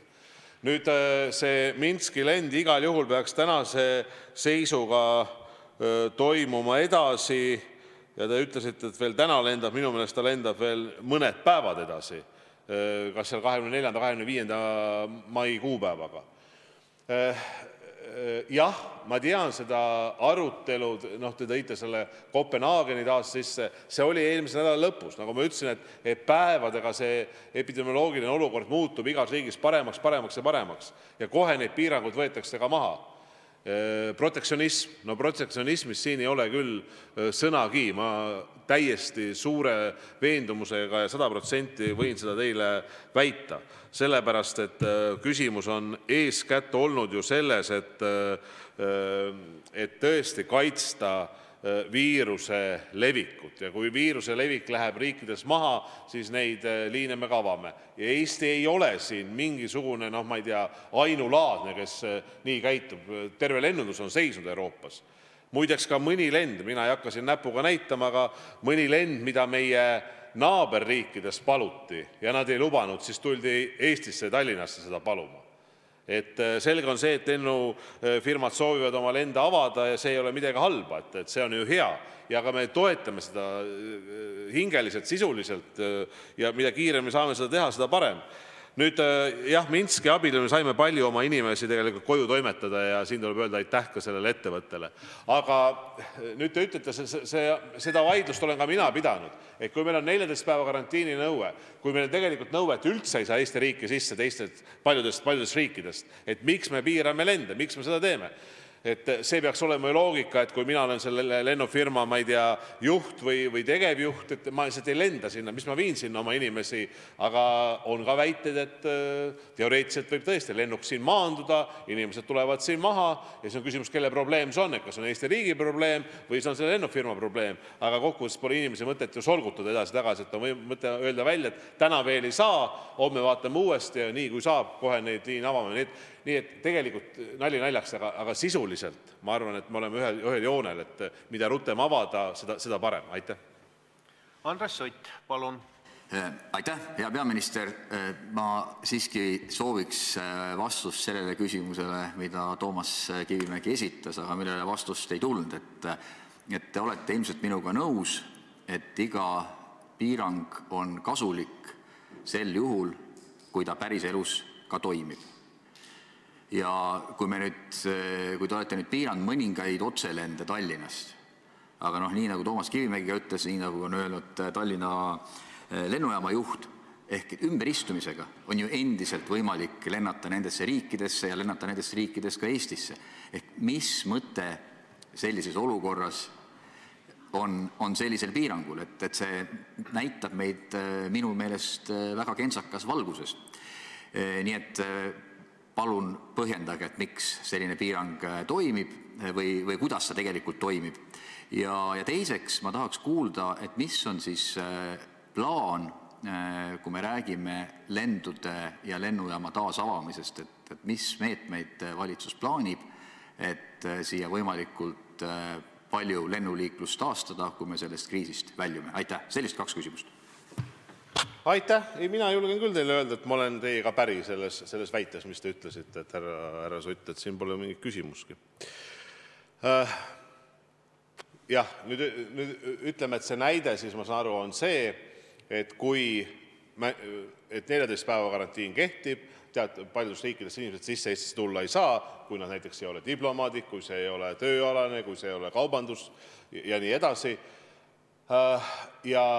teie väide on see, et tegelikult Eestist saab välja minna ikkagi nendesse riikidesse, miks me siis seda, otselendu keelame, noh, ma saan aru, et see on see väide. vastus on, et ega me Eestis pole ju kordagi keelanud väljaminekut.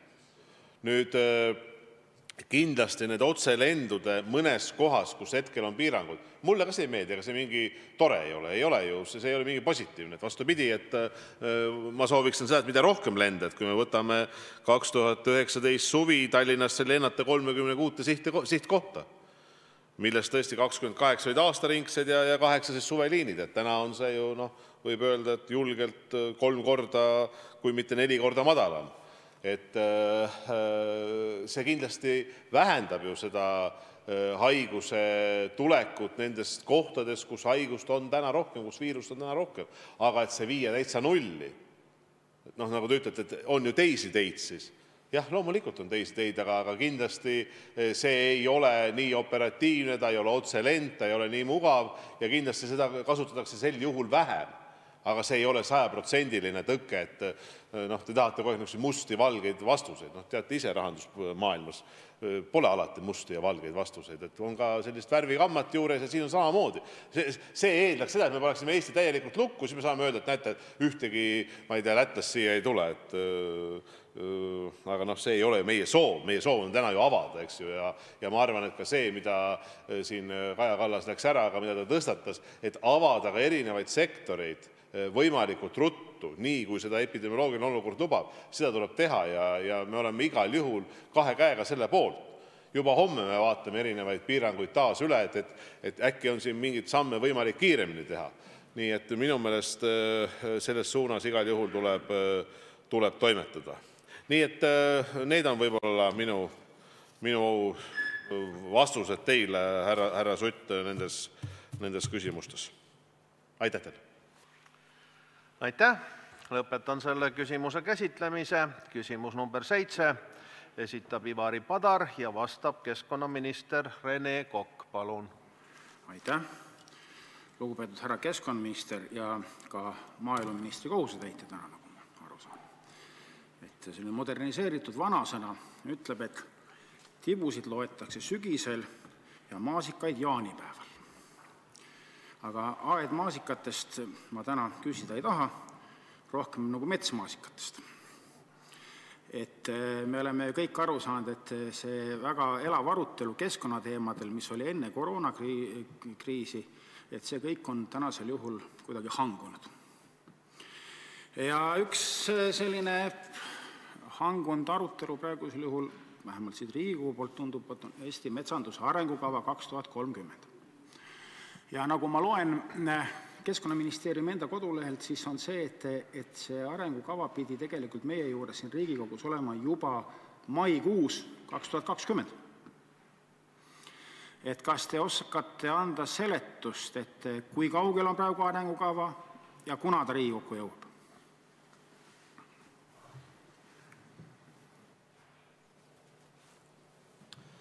austatud eesistuja, lugupeetud küsija. Jah, tõsi, on, et äh, metsanduse arengukava protsess on meil venimas. ja nüüd natuke ajaloost rääkida, siis jah, selle arengukava koostamise protsess tervikuna on, ma julgen küll väita, Eestis üks äh, kõige suurema kasutusega protsess olnud. Meil on selline ütlus või, klassikud on öelnud, et tahtsime kõige paremat, välja kukkus nagu alati. ma ei tahaks päris nii öelda, aga tõsi on see, et kogu seda protsessi on läbi viidud väga suure kaasamise egiidi all ja ja ajavaru oli ka piisav, aga tänaseks oleme siis jõudnud olukorda, kus kolmel korral on meil läbi kukkunud keskkonnamõju siis strateegilise hindaja leidmine, selle metsanduse arengukava strateegilise mõju hindaja leidmine. Äh, kahel esimesel korral, noh, võiks ka öelda, et kas, ei näinud ette seda, et et ajagraafik võib minna selliseks või teistsuguseks, siis peab tunnistama, et tõesti ei näinud ette sest esimesel kahel juhul oli, oli aega piisavalt ka sellel juhul, kui see läbi kukkus, et oleks jõudnud graafikus seda menetleda, edasi minna. ja täna oleme olukorras, kus tõesti me liigume graafikus, kus äh, ilmselt äh, selle mõjude hindamine peaks valmis saama ja Riigikogusse jõudma ilmselt äh, kaks tuhat kakskümmend kaks kevadel.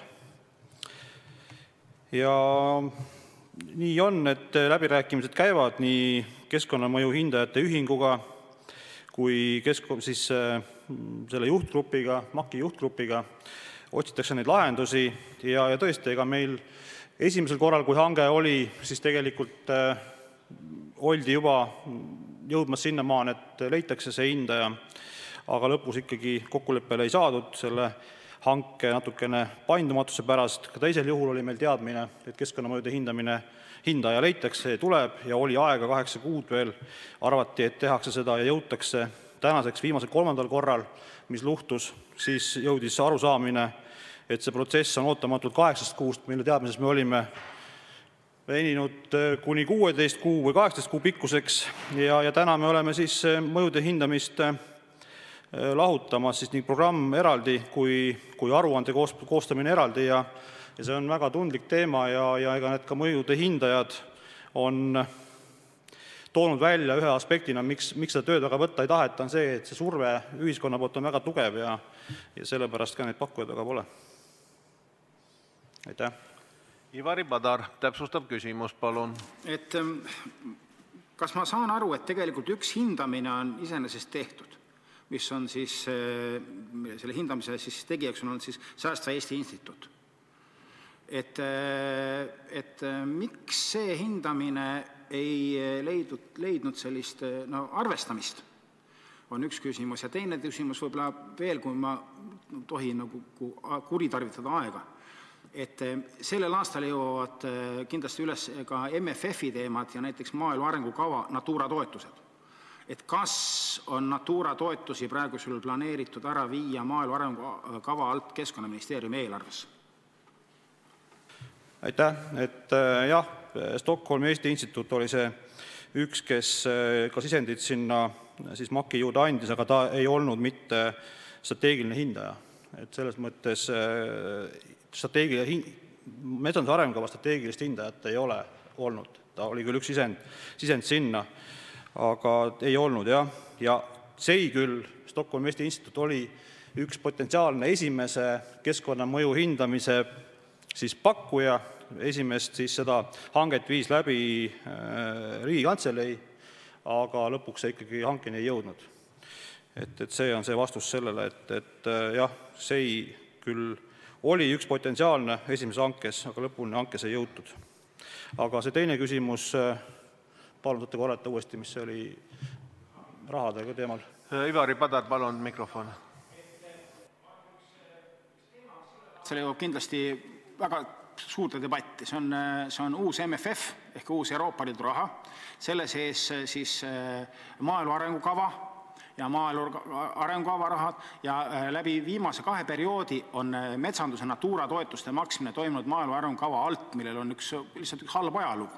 ja, ma olen alati olnud seisukohal, et see peaks olema Keskkonnaministeeriumi eelarves kas praegusel juhul on teil plaanis, et kui hakatakse uut finantsperioodi arutama, et siis need metsanduse arengukava rahad, metsanduse Natura rahad maaelu arengukava alt viia Keskkonnaministeeriumi eelarvesse? aitäh, viimasel ajal see minu laual käinud pole ja ma selles mõttes küll, see ei ole praegu teema olnud, et seda muuta. aitäh. aitäh, Jürgen Ligi, palun. aitäh, härra Kokk. Pean tunnistama, te olete üks salapärane tegelane. Teie kohta on äh, õige mitu inimest öelnud, et äh, arvestades erakondlikku tausta, olete üllatavalt mõistlik ja viimane uudis teist oli ka hästi positiivne, rahandusministri totrale kirjale kvoodikaubandusest ja süsteemist te vastasite väga ausalt kirjalikult ja see jõudis ka uudistesse, et selle eest teile kiitus. aga ähm, kui te siin varem olete esinenud, siis äh, oleks nagu ikkagi kuskil mingid kratid kallal ja te, päris lõpuni välja ei pea kui küsimusi esitada, aga mul ei ole seda varem olnud küsimust. ma küsin teilt seda võimalust, et kas teie arvates inimtekkeline kliimamuutus toimub või on see vaieldav? Aitäh! äh, puhas klassika, seda on enne küsitud. ja ega mul ei ole vahepeal ka midagi äh, vastamise osas väga muutunud, äh, ma olen seda öelnud, et jah, inimesel kindlasti on oma osa kliimamuutuste juures, kui me vaatame aknast välja, nagu ma olen ka varem öelnud, noh siit me veel ei näe võib-olla, aga suures pildis me näeme palju autosid, mis sõidavad igapäevaselt, me näeme praegu küll vähem, aga näeme ka lennukeid lendamas ja näeme tööstuste korstnaid, siis kindlasti inimene oma mõju ka kliimale osutab ja arvestades seda, kui palju viimase saja aastaga on maakeral rahvast juurde tulnud, me oleme pea kaheksa miljardi kanti juba jõudmas, siis kindlasti on inimesel oma osa ka kliimamuutustes.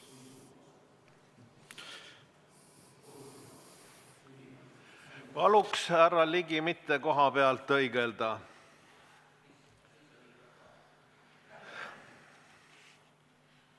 Nii, kas minister lõpetas oma vastuse? ja, ja ma ütlesin, et oma osa on inimestel, jah. aitäh, sellisel juhul lõpetan selle küsimuse käsitlemise ja küsimus number kaheksa esitab Aivar Sõerd ja vastab peaminister Jüri Ratas, palun. aitäh, austatud juhataja, austatud peaminister.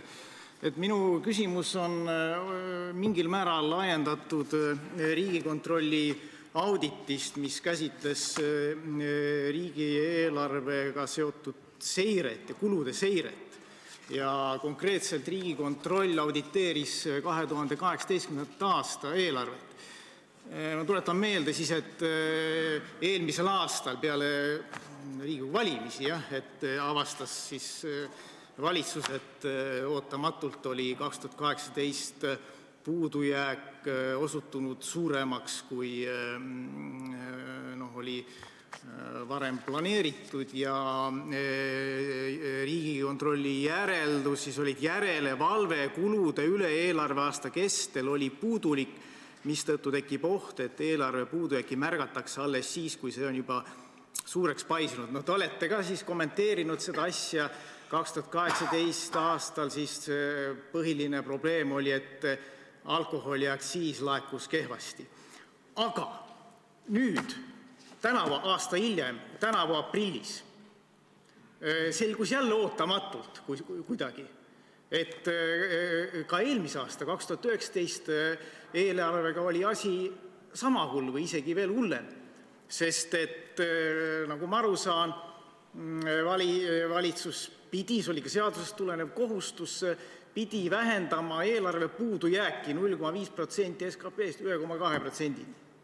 aga mis me nüüd äsja, aprillis teada saime, eelarve puudujääk oli üks koma üheksa protsenti. no siin te käisite ka siin eelarvet tutvustamas, rääkisite valitsus parandab eelarvepositsiooni null koma viis protsenti.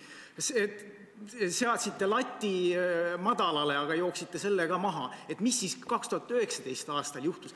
Maksutulud laekusid väga hästi, isegi ette laekusid, sest kütuseaktsiisi äh, tasuti ette koormuse tõttu. ja majanduskasv oli ka suurem kui äh, planeeritud. mis juhtus? jah, suur tänu teile ja ma kõigepealt tahan öelda seda, et hea Aivar, et mul on hea meel, et äh, meil on võimalus taas pidada rahandusdebatti, mis on olnud minu jaoks alati väga hariv, huvitav, aga väga noh, emotsionaalne ja minu meelest see kirg, äh, on alati tähtis ja oluline. äh, kõigepealt kaks tuhat kaheksateist, jah, me oleme sellest palju rääkinud, mul on hea meel, et te ka kinnitate või vähemalt üle ütlesite minu sõnu, et tõesti sain mina sellest teada kahe tuhande kaheksateistkümnenda aasta struktuursest eelarve tasakaalu positsiooni halvenemisest kahe tuhande üheksateistkümnenda aasta aprillis. Nüüd kaks tuhat kaheksateist puudujääk kindlasti Eesti riigi rahandus, kui me räägime laiemalt, on tugevatel alustel, seda tegelikult tõdeb ka Riigikontrolli oma põhjalikus ülevaates, nüüd edasi, kahe tuhande kaheksateistkümnendal aastal eelarve planeeriti küll puudujäägis, kuid see oli muudetud eelarvestrateegiaga kooskõlas ja ta oli suunatud just majanduskasvu stimuleerimisele. nagu te mäletate, me oleme viimased kolm aastat ju kõvasti tegelenud selle majanduskasvu stimuleerimisega, mis oli tuhande kuueteistkümnendat aastat ja, ka seal esimesel poolel muideks täna te ei olnud saalis, jälle soovitakse majutusasutuste, meil on üks liitlane juurde tulnud, Annely Akkermann, kes ka ei soovi majutusasutuste käibemaksu tõsta, see on minu arust väga positiivne äh, sõnum, ma tahtsin teid informeerida ka sellest huvitavast ja olulisest infost. aga nüüd kaks tuhat kaheksateist aastal ei esinenud valitsuse poolt tegelikult teadlikku ülekulutamist, oodatust oli kiirem majanduskasv ja te ütlete väga õigesti, maksutulude laekumine jäi tagasihoidlikumaks ja väga õigesti te ütlesite, eelkõige aktsiiside osas, nii see oli. et majanduskasv oli kiirem, see tähendas seda, et paralleelselt oleks pidanud olema ka maksulaekumised aktsiiside osas, aga seda nii kiiresti ei toimunud.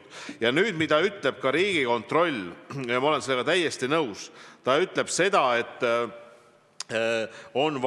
Palju operati-, järeldas, et on vaja märksa operatiivsemat teavet riigikassa tulude laekumisest ja riigieelarve tegelikest kulutustest.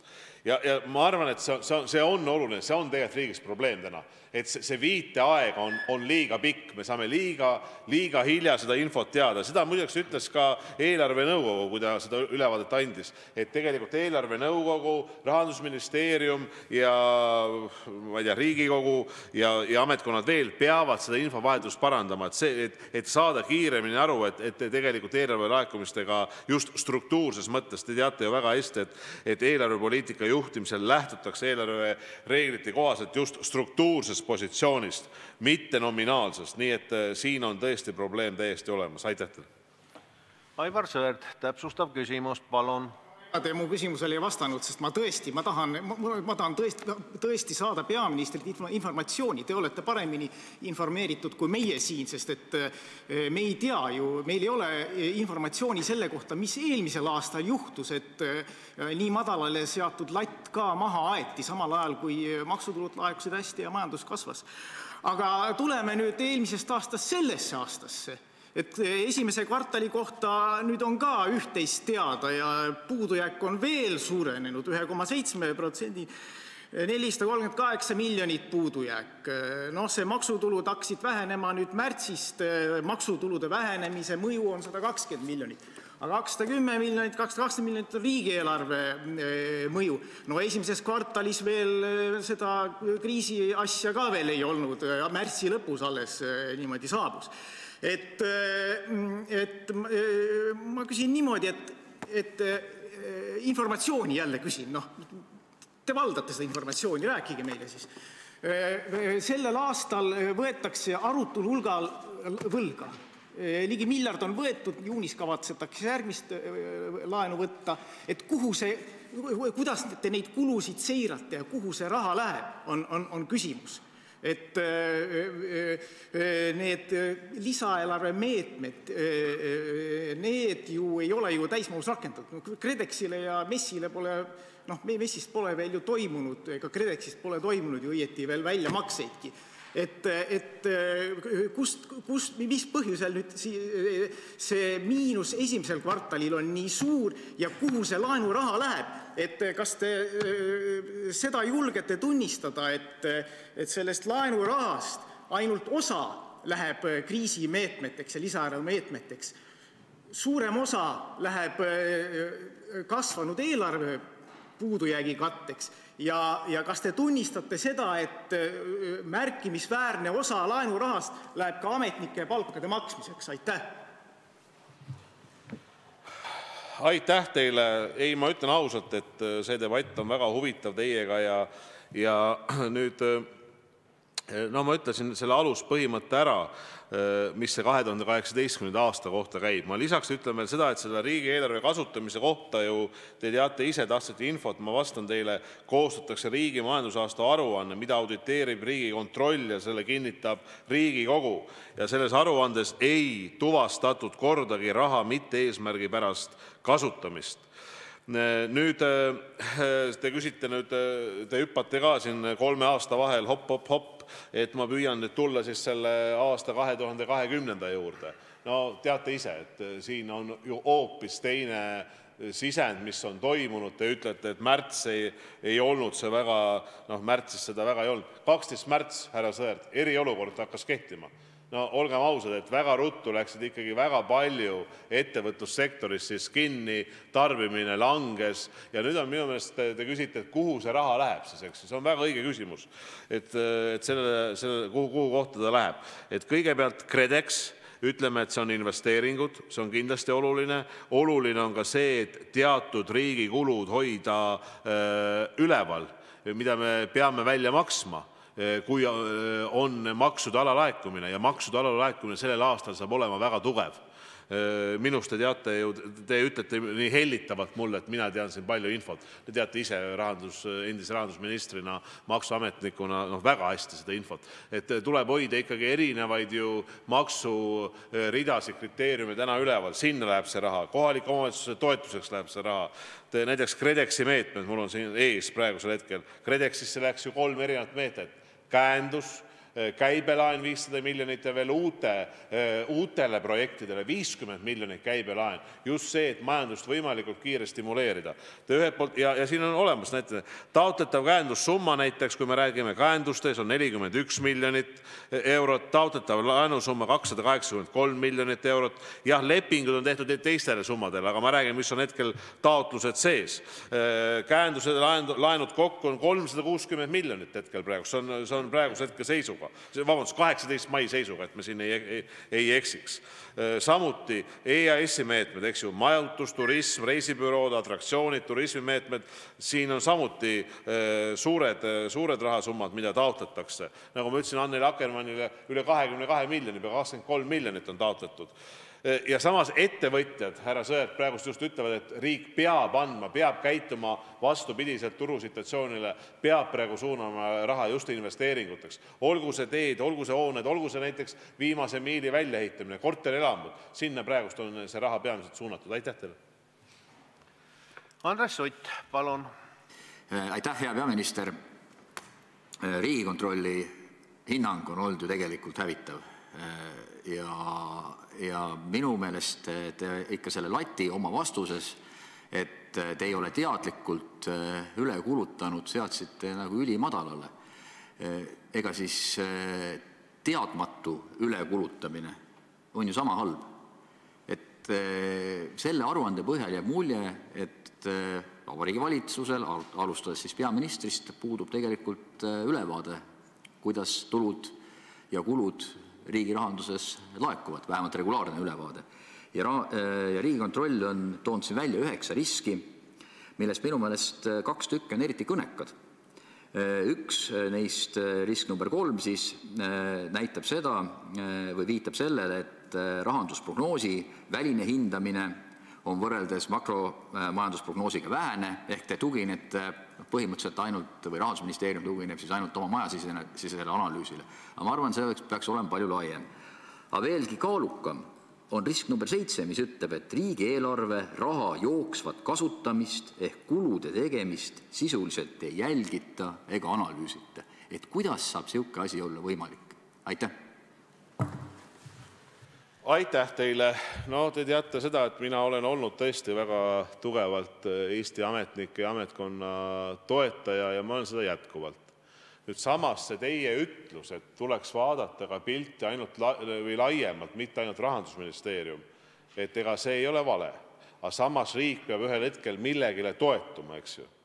ja tõesti, see on olnud Rahandusministeeriumi prognoos, on see kevadprognoos või on see suvine prognoos see, mis te ütlete nüüd, et tuleb parandada infovahetust, sellega ma olen päri ja seda ma ju ütlesin ka härra Sõerdile, et seda toob Riigikontroll välja, seda tõi eelarvenõukogu välja, aga seda toob ka Rahandusministeerium täna välja, et seda struktuurset positsiooni me ei saaks teada, noh, seesama see 2008 versus 2019, 2018 versus 2019 aprill. Palju parem olnud, kui me oleksime suutnud seda struktuurset positsiooni saada teada võimalikult vara, 2019 algus, rääkimata sellest, et tegelikult 2018 seal, ma ei tea, november-detsember. ma mäletan, et toona oli arutelu, kus ka Rahandusministeerium ütles, et praegu läheb kõik hästi, kui on võimalik, tuleb ka investeeringuid rohkem, teha selle aasta jooksul, selgus see, et ka investeeringutes oli ülekulu jah, ei saa öelda ainult, et äh, alkoholiaktsiis langes toona alla majanduskasvu majandus kasvas, pidi ka alkoholiaktsiis laekuma kiiremini, aga ei laekunud.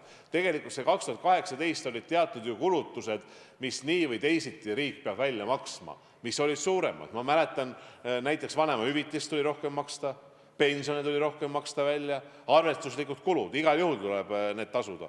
aga härra Sutt, selles mõttes ma olen küll päri, äh, kui te ütlete, et seda süsteemi nagu muuta noh, operatiivsemaks, äh, kiiremaks, et need niinimetatud ohulambid löövad ennem põlema kui viit ega kolm kuud või noh, tegelikult isegi neljanda kuu alguses, sellega ma olen päri kui teil on häid mõtteid, palun andke teada, et kindlasti võtame pardale ja, ja teil on neid häid mõtteid, ma olen sellega kindlasti päri.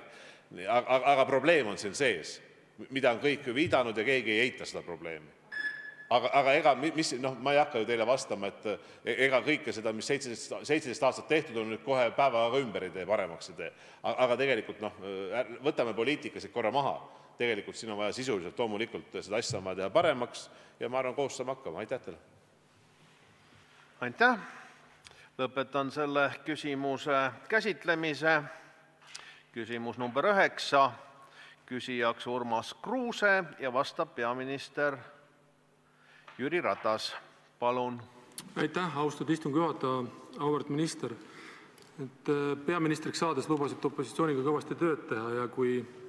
Te oleks opositsiooniga kõvasti koostööd teinud, siis me ei oleks pidanud täna riigieelarve kohta nii negatiivset auditit lugema, sellepärast et siit saalist me jõudsime mitu korda hoiatada, et valitsus tegelikult kulutab üle ja ta oleks suutnud ilma väidetava teoreetilise statistikata teha ka paremaid otsuseid, aga tunnetuse küsimus oli sellel valitsusel paigast ära, mis puudutab kulutamist.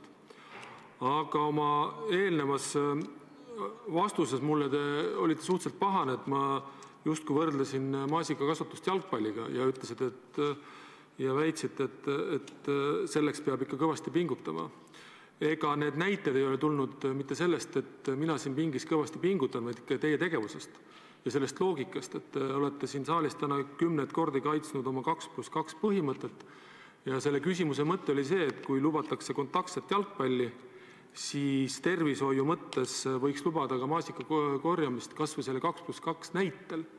aga mis mind muretsema pani, oli ju tegelikult see, et kui me avame spaad ja hotellid, siis õhtu, kui me ei luba tegevusi ka restoranides või kohvikutes, siis sellest üksi ei ole midagi kasu ja sinna tuleb raha juurde maksta. aga nüüd Tartu ümbersõitudest sellele ma tahaks tegelikult konkreetset vastust saada mõni aeg tagasi siin eelnevate arutelude juures on öeldud seda, et lõunaring lükati edasi ja selle valitsuse silmapiirist välja, ma pean silmas, kui kaua, kuna tulevad uued valimised. Öelge nüüd, kui te olete kaitsnud seda võimalust, et tuleb investeerida taristuobjektidesse, kas te nüüd toote Tartu lõunaringi investeeringu varasemaks ehk ei jäta seda aastasse 2024? see on kõige liiklusohtlikum ring Eesti Vabariigis, vähemalt statistika kohaselt, mida ma lugenud olen. Härra Kruuse, mina ei ole teie peale pahane. nagu te ütlesite, tõesti ei ole ja vastupidi, minu meelest väga paljud teie mured on saanud viimase kolme poole aasta jooksul lahendatud, küll me oleme arutanud siin teiega maaülikooli temaatikat, et sinna rahastust juurde saada, see küsimus on lahendatud, eks ju, nagu te teate, see veterinaarküsimus, see hobuste küsimus, eks ju, top-up küsimus, mis teil on hingel olnud, on saanud lahenduse, ma arvan, et me oleme rääkinud teiega mesilasperedest, tarude toetusest, nii et paljud asjad on minu meelest ikkagi koostöös sündinud. mina ei tea, miks te seda kaks pluss kaks põhimõtet ründate, ma ei saa sellest tegelikult väga aru. äh, jah, ilmad on ilusad, soojad, viirusepuhang on täna üsna maas ja see on ju nii inimlik, et see on nii inimesele kohane, et me ütleme, et äh, nüüd on kõik jälle nii, nagu oli, nagu enne. see ei ole ju nii kõik ütlevad, et kui vaktsiini ei ole, kui ravimit ei ole, me ei saa, me ei saa minna tagasi siis noh, normaalsusesse, me vajame mingisugust distantsi. see on inimeselt inimesele nakkuv haigus, peamiselt, see on kindlaks tehtud. Nüüd ja see ongi ju põhjus, miks see kaks pluss kaks reegel on, et minu meelest selle, pahandamise osas ei ole noh, ma saan aru, et te tahate lükata kõik vabaks keegi peab ütlema, et kõik ei saa vabaks minna, äh, kui kõik läheb vabaks, äh, see kordaja läheb väga kiiresti ülesse, see, läheb väga kiiresti ülesse. ja minu meelest, et noh, noh, olla selles mõttes soov olla ma ei tea, kas siis populaarne või ma ei oskagi öelda, et teeme nüüd kõik jälle lahti, ma tahan ka seda hinge eest teha lahti, aga minu meelest meil peavad mingid piirangud veel mingi aeg olema. aga ma ei ütle, et see kaks pluss kaks nüüd peab kehtima kuni aeg, aegade lõpuni aga hetkel seda peab veel hoidma minu meelest, seda distantsi. no spaade osas, te olete jälle mures nende spaade osas. no spaad avatakse minu meelest esimene juuni, et see on antud ja spaad on olnud pigem õnnelikud selle üle. jah, seal on see viiekümne protsendi täituvus sees, aga, minu meelest see on väga konkreetne sõnum. no ma saan aru, et te olete jälle mures nende spaade restoranide osas ja eeskätt alkoholimüügi osas noh, et mulle tundub, et see on, püüame, püüame neid küsimusi lahendada. ja nüüd see teie põhiküsimus, mida te tahtsite küsida, aga noh, te küsite eel, eelpool nii palju teisi asju, ka emotsioon, emotsiooni, noh, ma ei taha, et te tunnete, et keegi on teie peale pahane. see Tartu ümbersitt, lõuna, lõunaring või mis te ütlesite, hetkel see on tõesti teehoiukavas, te ütlete õigesti, vist kaks tuhat kakskümmend neli, kaks tuhat kakskümmend viis. Äh, aga ma olen äh, käivitanud, me oleme käivitanud eelmises kabinetis kõik projektid uuesti üle vaadata, et kui majanduslangus tuleb veel suurem, et ka riigi poolt anda investeeringuid veel rohkem turule sisse kui küsimus on, kas seda on võimalik tuua ettepoole, noh, see on eeskätt ju, nüüd äh, riigieelarve ja riigi eelarvestrateegia menetlemise käigus tuleb vaadata ka see objekt üle, hetkel ta on tõesti kaks tuhat kakskümmend neli, nagu te ütlete,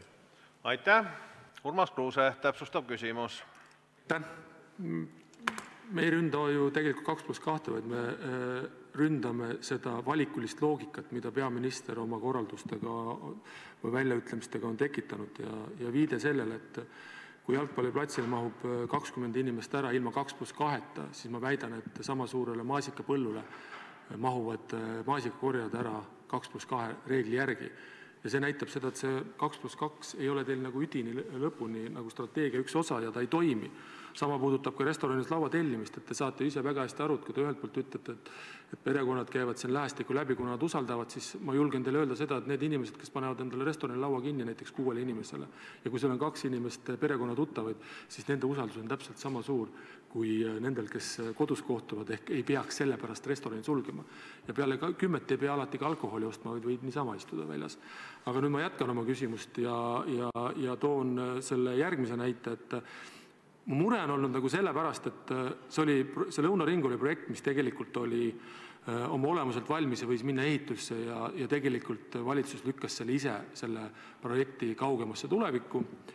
ja, nüüd ilmus välja teine teadmine äh, ajakirjanduse kaudu, et äh, ka põhjapoolne projekt ei ole isegi, ei mahu isegi kavasse kuni kaks tuhat kolmkümmend et ma tahaks küsida, et mis mure teil Tartu ja tartumaalastega on, et et sellised olulised objektid peaks äh, lükkama niivõrd palju edasi. ja kui te andsite siin võib-olla moka otsast märku et te olete valmis kaaluma selle lõunaringi äh, ettepoole toomist, mis oleks täiesti nagu mõistlik lähenemine, aga soovitavalt mitte pool kuud enne valimisi, vaid ikkagi varasemasse aega, siis kas Põhjaringil on lootust tulla kavasse Äh, selles mõttes, et see oleks loogiline jätk kogu Tartu äh, ümbersõidule, millest kasu saavad kõik lõunaeestlased. noh, ma saan aru, et nüüd teil on siis jalgpall hambus. et tahate, et seal hakkaks siis kaks pluss kaks pihta. no ei saa jalgpalli mängida kaks pluss kaks ja seesama premium-liiga, las ta nüüd toimub, hakkab pihta, eks ju, saavad sealt äh, vutti taguda nii treeningutel kui ka kui ka spordivõistlustel.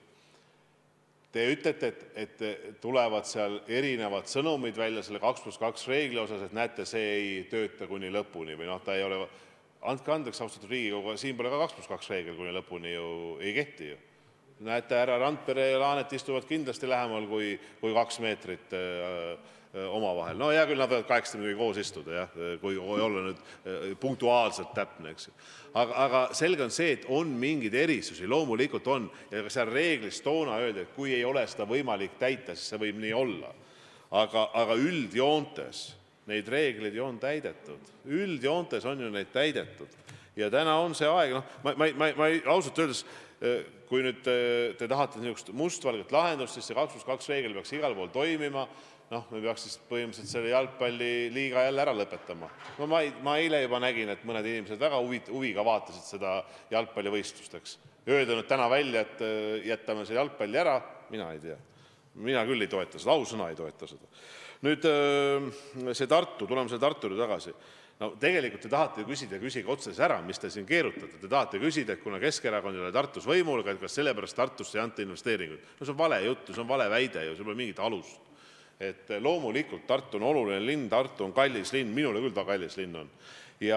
ja, Tartut tuleb toetada, igal juhul tuleb toetada, et punkt üks, et kui meil on nüüd põhjus anda veel rohkem ja mitmed ettevõtjad täna ütlevad, nad vajavad konkreetset sõnumit, et kas riik annab, kui tuleb majanduslangus, rohkem investeeringuid turule, eriti ehitussektor, kes kardab oma pärast ikka väga selle aasta sügis-talv on äh, väga paljud suured ehitusfirmad väga murelikud ja seda ju Riigikogu tegelikult tegi, kohalike omavalitsuste investeeringud, teede investeeringud, kortermajade investeeringud, lammutusinvesteeringud, seda kõike on üle kahesaja miljoni, mida ma praegu üles lugesin.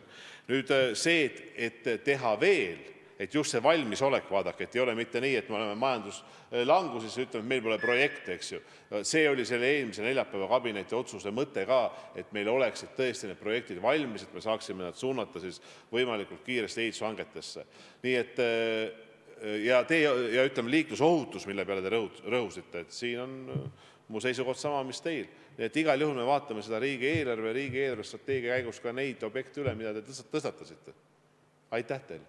aitäh! Valdo Randpere, palun! aitäh!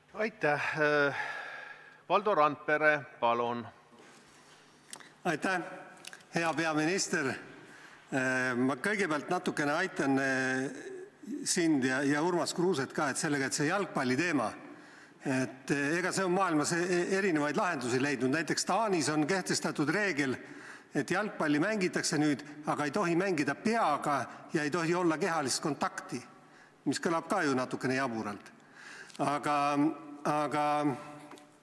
ja, kaks pluss kaks reegel Riigikogus, seda sa ei saanud algusest peale, Jüri, kehtestada, sest eh, täidesaatev võim ei saa seadusandlikku võimu kamandada, nii on. aga, mul on küsimus ka. ja küsimus on eh, tegelikult eh, mitte selle Tartu ümbersõidu kohta, sellest ma sain kõik, teada nüüd, aga mul on maskide kohta, et Jüri, sa käisid kolm kuud ringi ja rääkisid, et maskid on sotsiaalne norm ja nüüd sa juba kolmandat päeva käid ilma maskita. ja ma ei ütle, et see ei sobi sulle, iseenesest sa oled üks mitte väheseid, aga sa oled üks inimesi, kes ilma maskita näeb veel parem välja kui maskiga. nii et selle, selle poolest kõik okei okay., aga ma tahaks teada, kas ta on nüüd sotsiaalne norm või ei ole ja kas see sotsiaalne norm siis äkki lõppes ära eriolukorra lõppemisega või, või said maskid otsa või mis asi on, kuidas ma pean käituma? aitäh, Jüri! Aitäh, Valdo, kõigepealt selle ilusa, komplimendi eest su, sulle tõesti, see on armas. mina ütlen ka, et äh, peaga väravad on alati väga efektsed. ma ei kujuta ette, et äh, jalgpalli mängida ja siis peaga ei tohi väravat lüüa. tõesti, alati väga efektsed, eks eriti nurgalöögist veel tuleb, tuleb kõrgele hüpe peaga sinna ristnurka, no väga-väga efektne, ma ütlen nii et ma ka, seda erisust ei toeta jalgpallis, et me ütleme, et peaga ei tohi mängida, punkt üks. ja muideks selle jalgpalliga on üldse väga huvitav asi. jalgpallihall peaks see aasta ju kerkima nelja Eesti kohta, ka Tartusse, minu meelest see on väga positiivne ja, seal on Tartu linna ja riigi koostöö.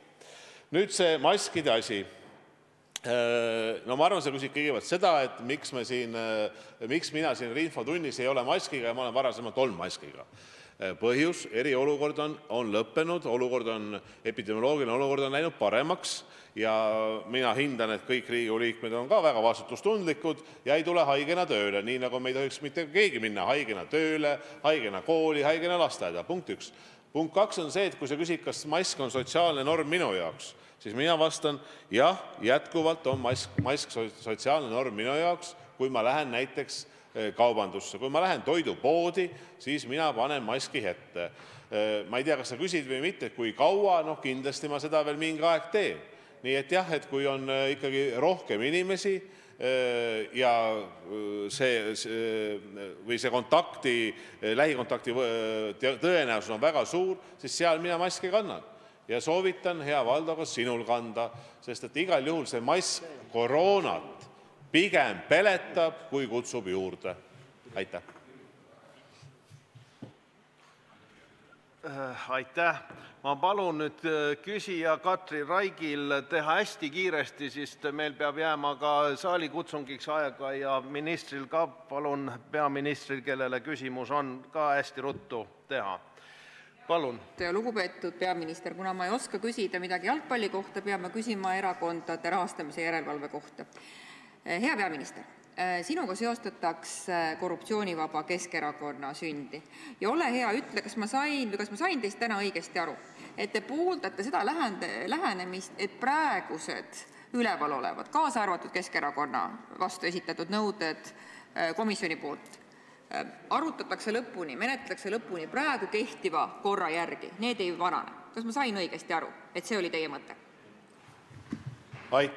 Ma küll ei kujuta ette, et kui näiteks, see läheb nüüd Riigikontrolli alla, siis me ütleme, et need, mis on menetluses, kuidagi kukuvad kahe tooli vahele ära. loomulikult tuleb lõpuni menetleda. ma arvan, et kui Riigikontroll selle üle võtab, kui Riigikogu nii soovib ja ERJK sel hetkel enam ei toimeta, siis peab seda Riigikontroll edasi menetlema, absoluutselt. Häid kolleege küsimuste eest, ma tänan kõiki ministreid vastuste eest kahjuks aeg on läbi ja meie infotund lõpeb.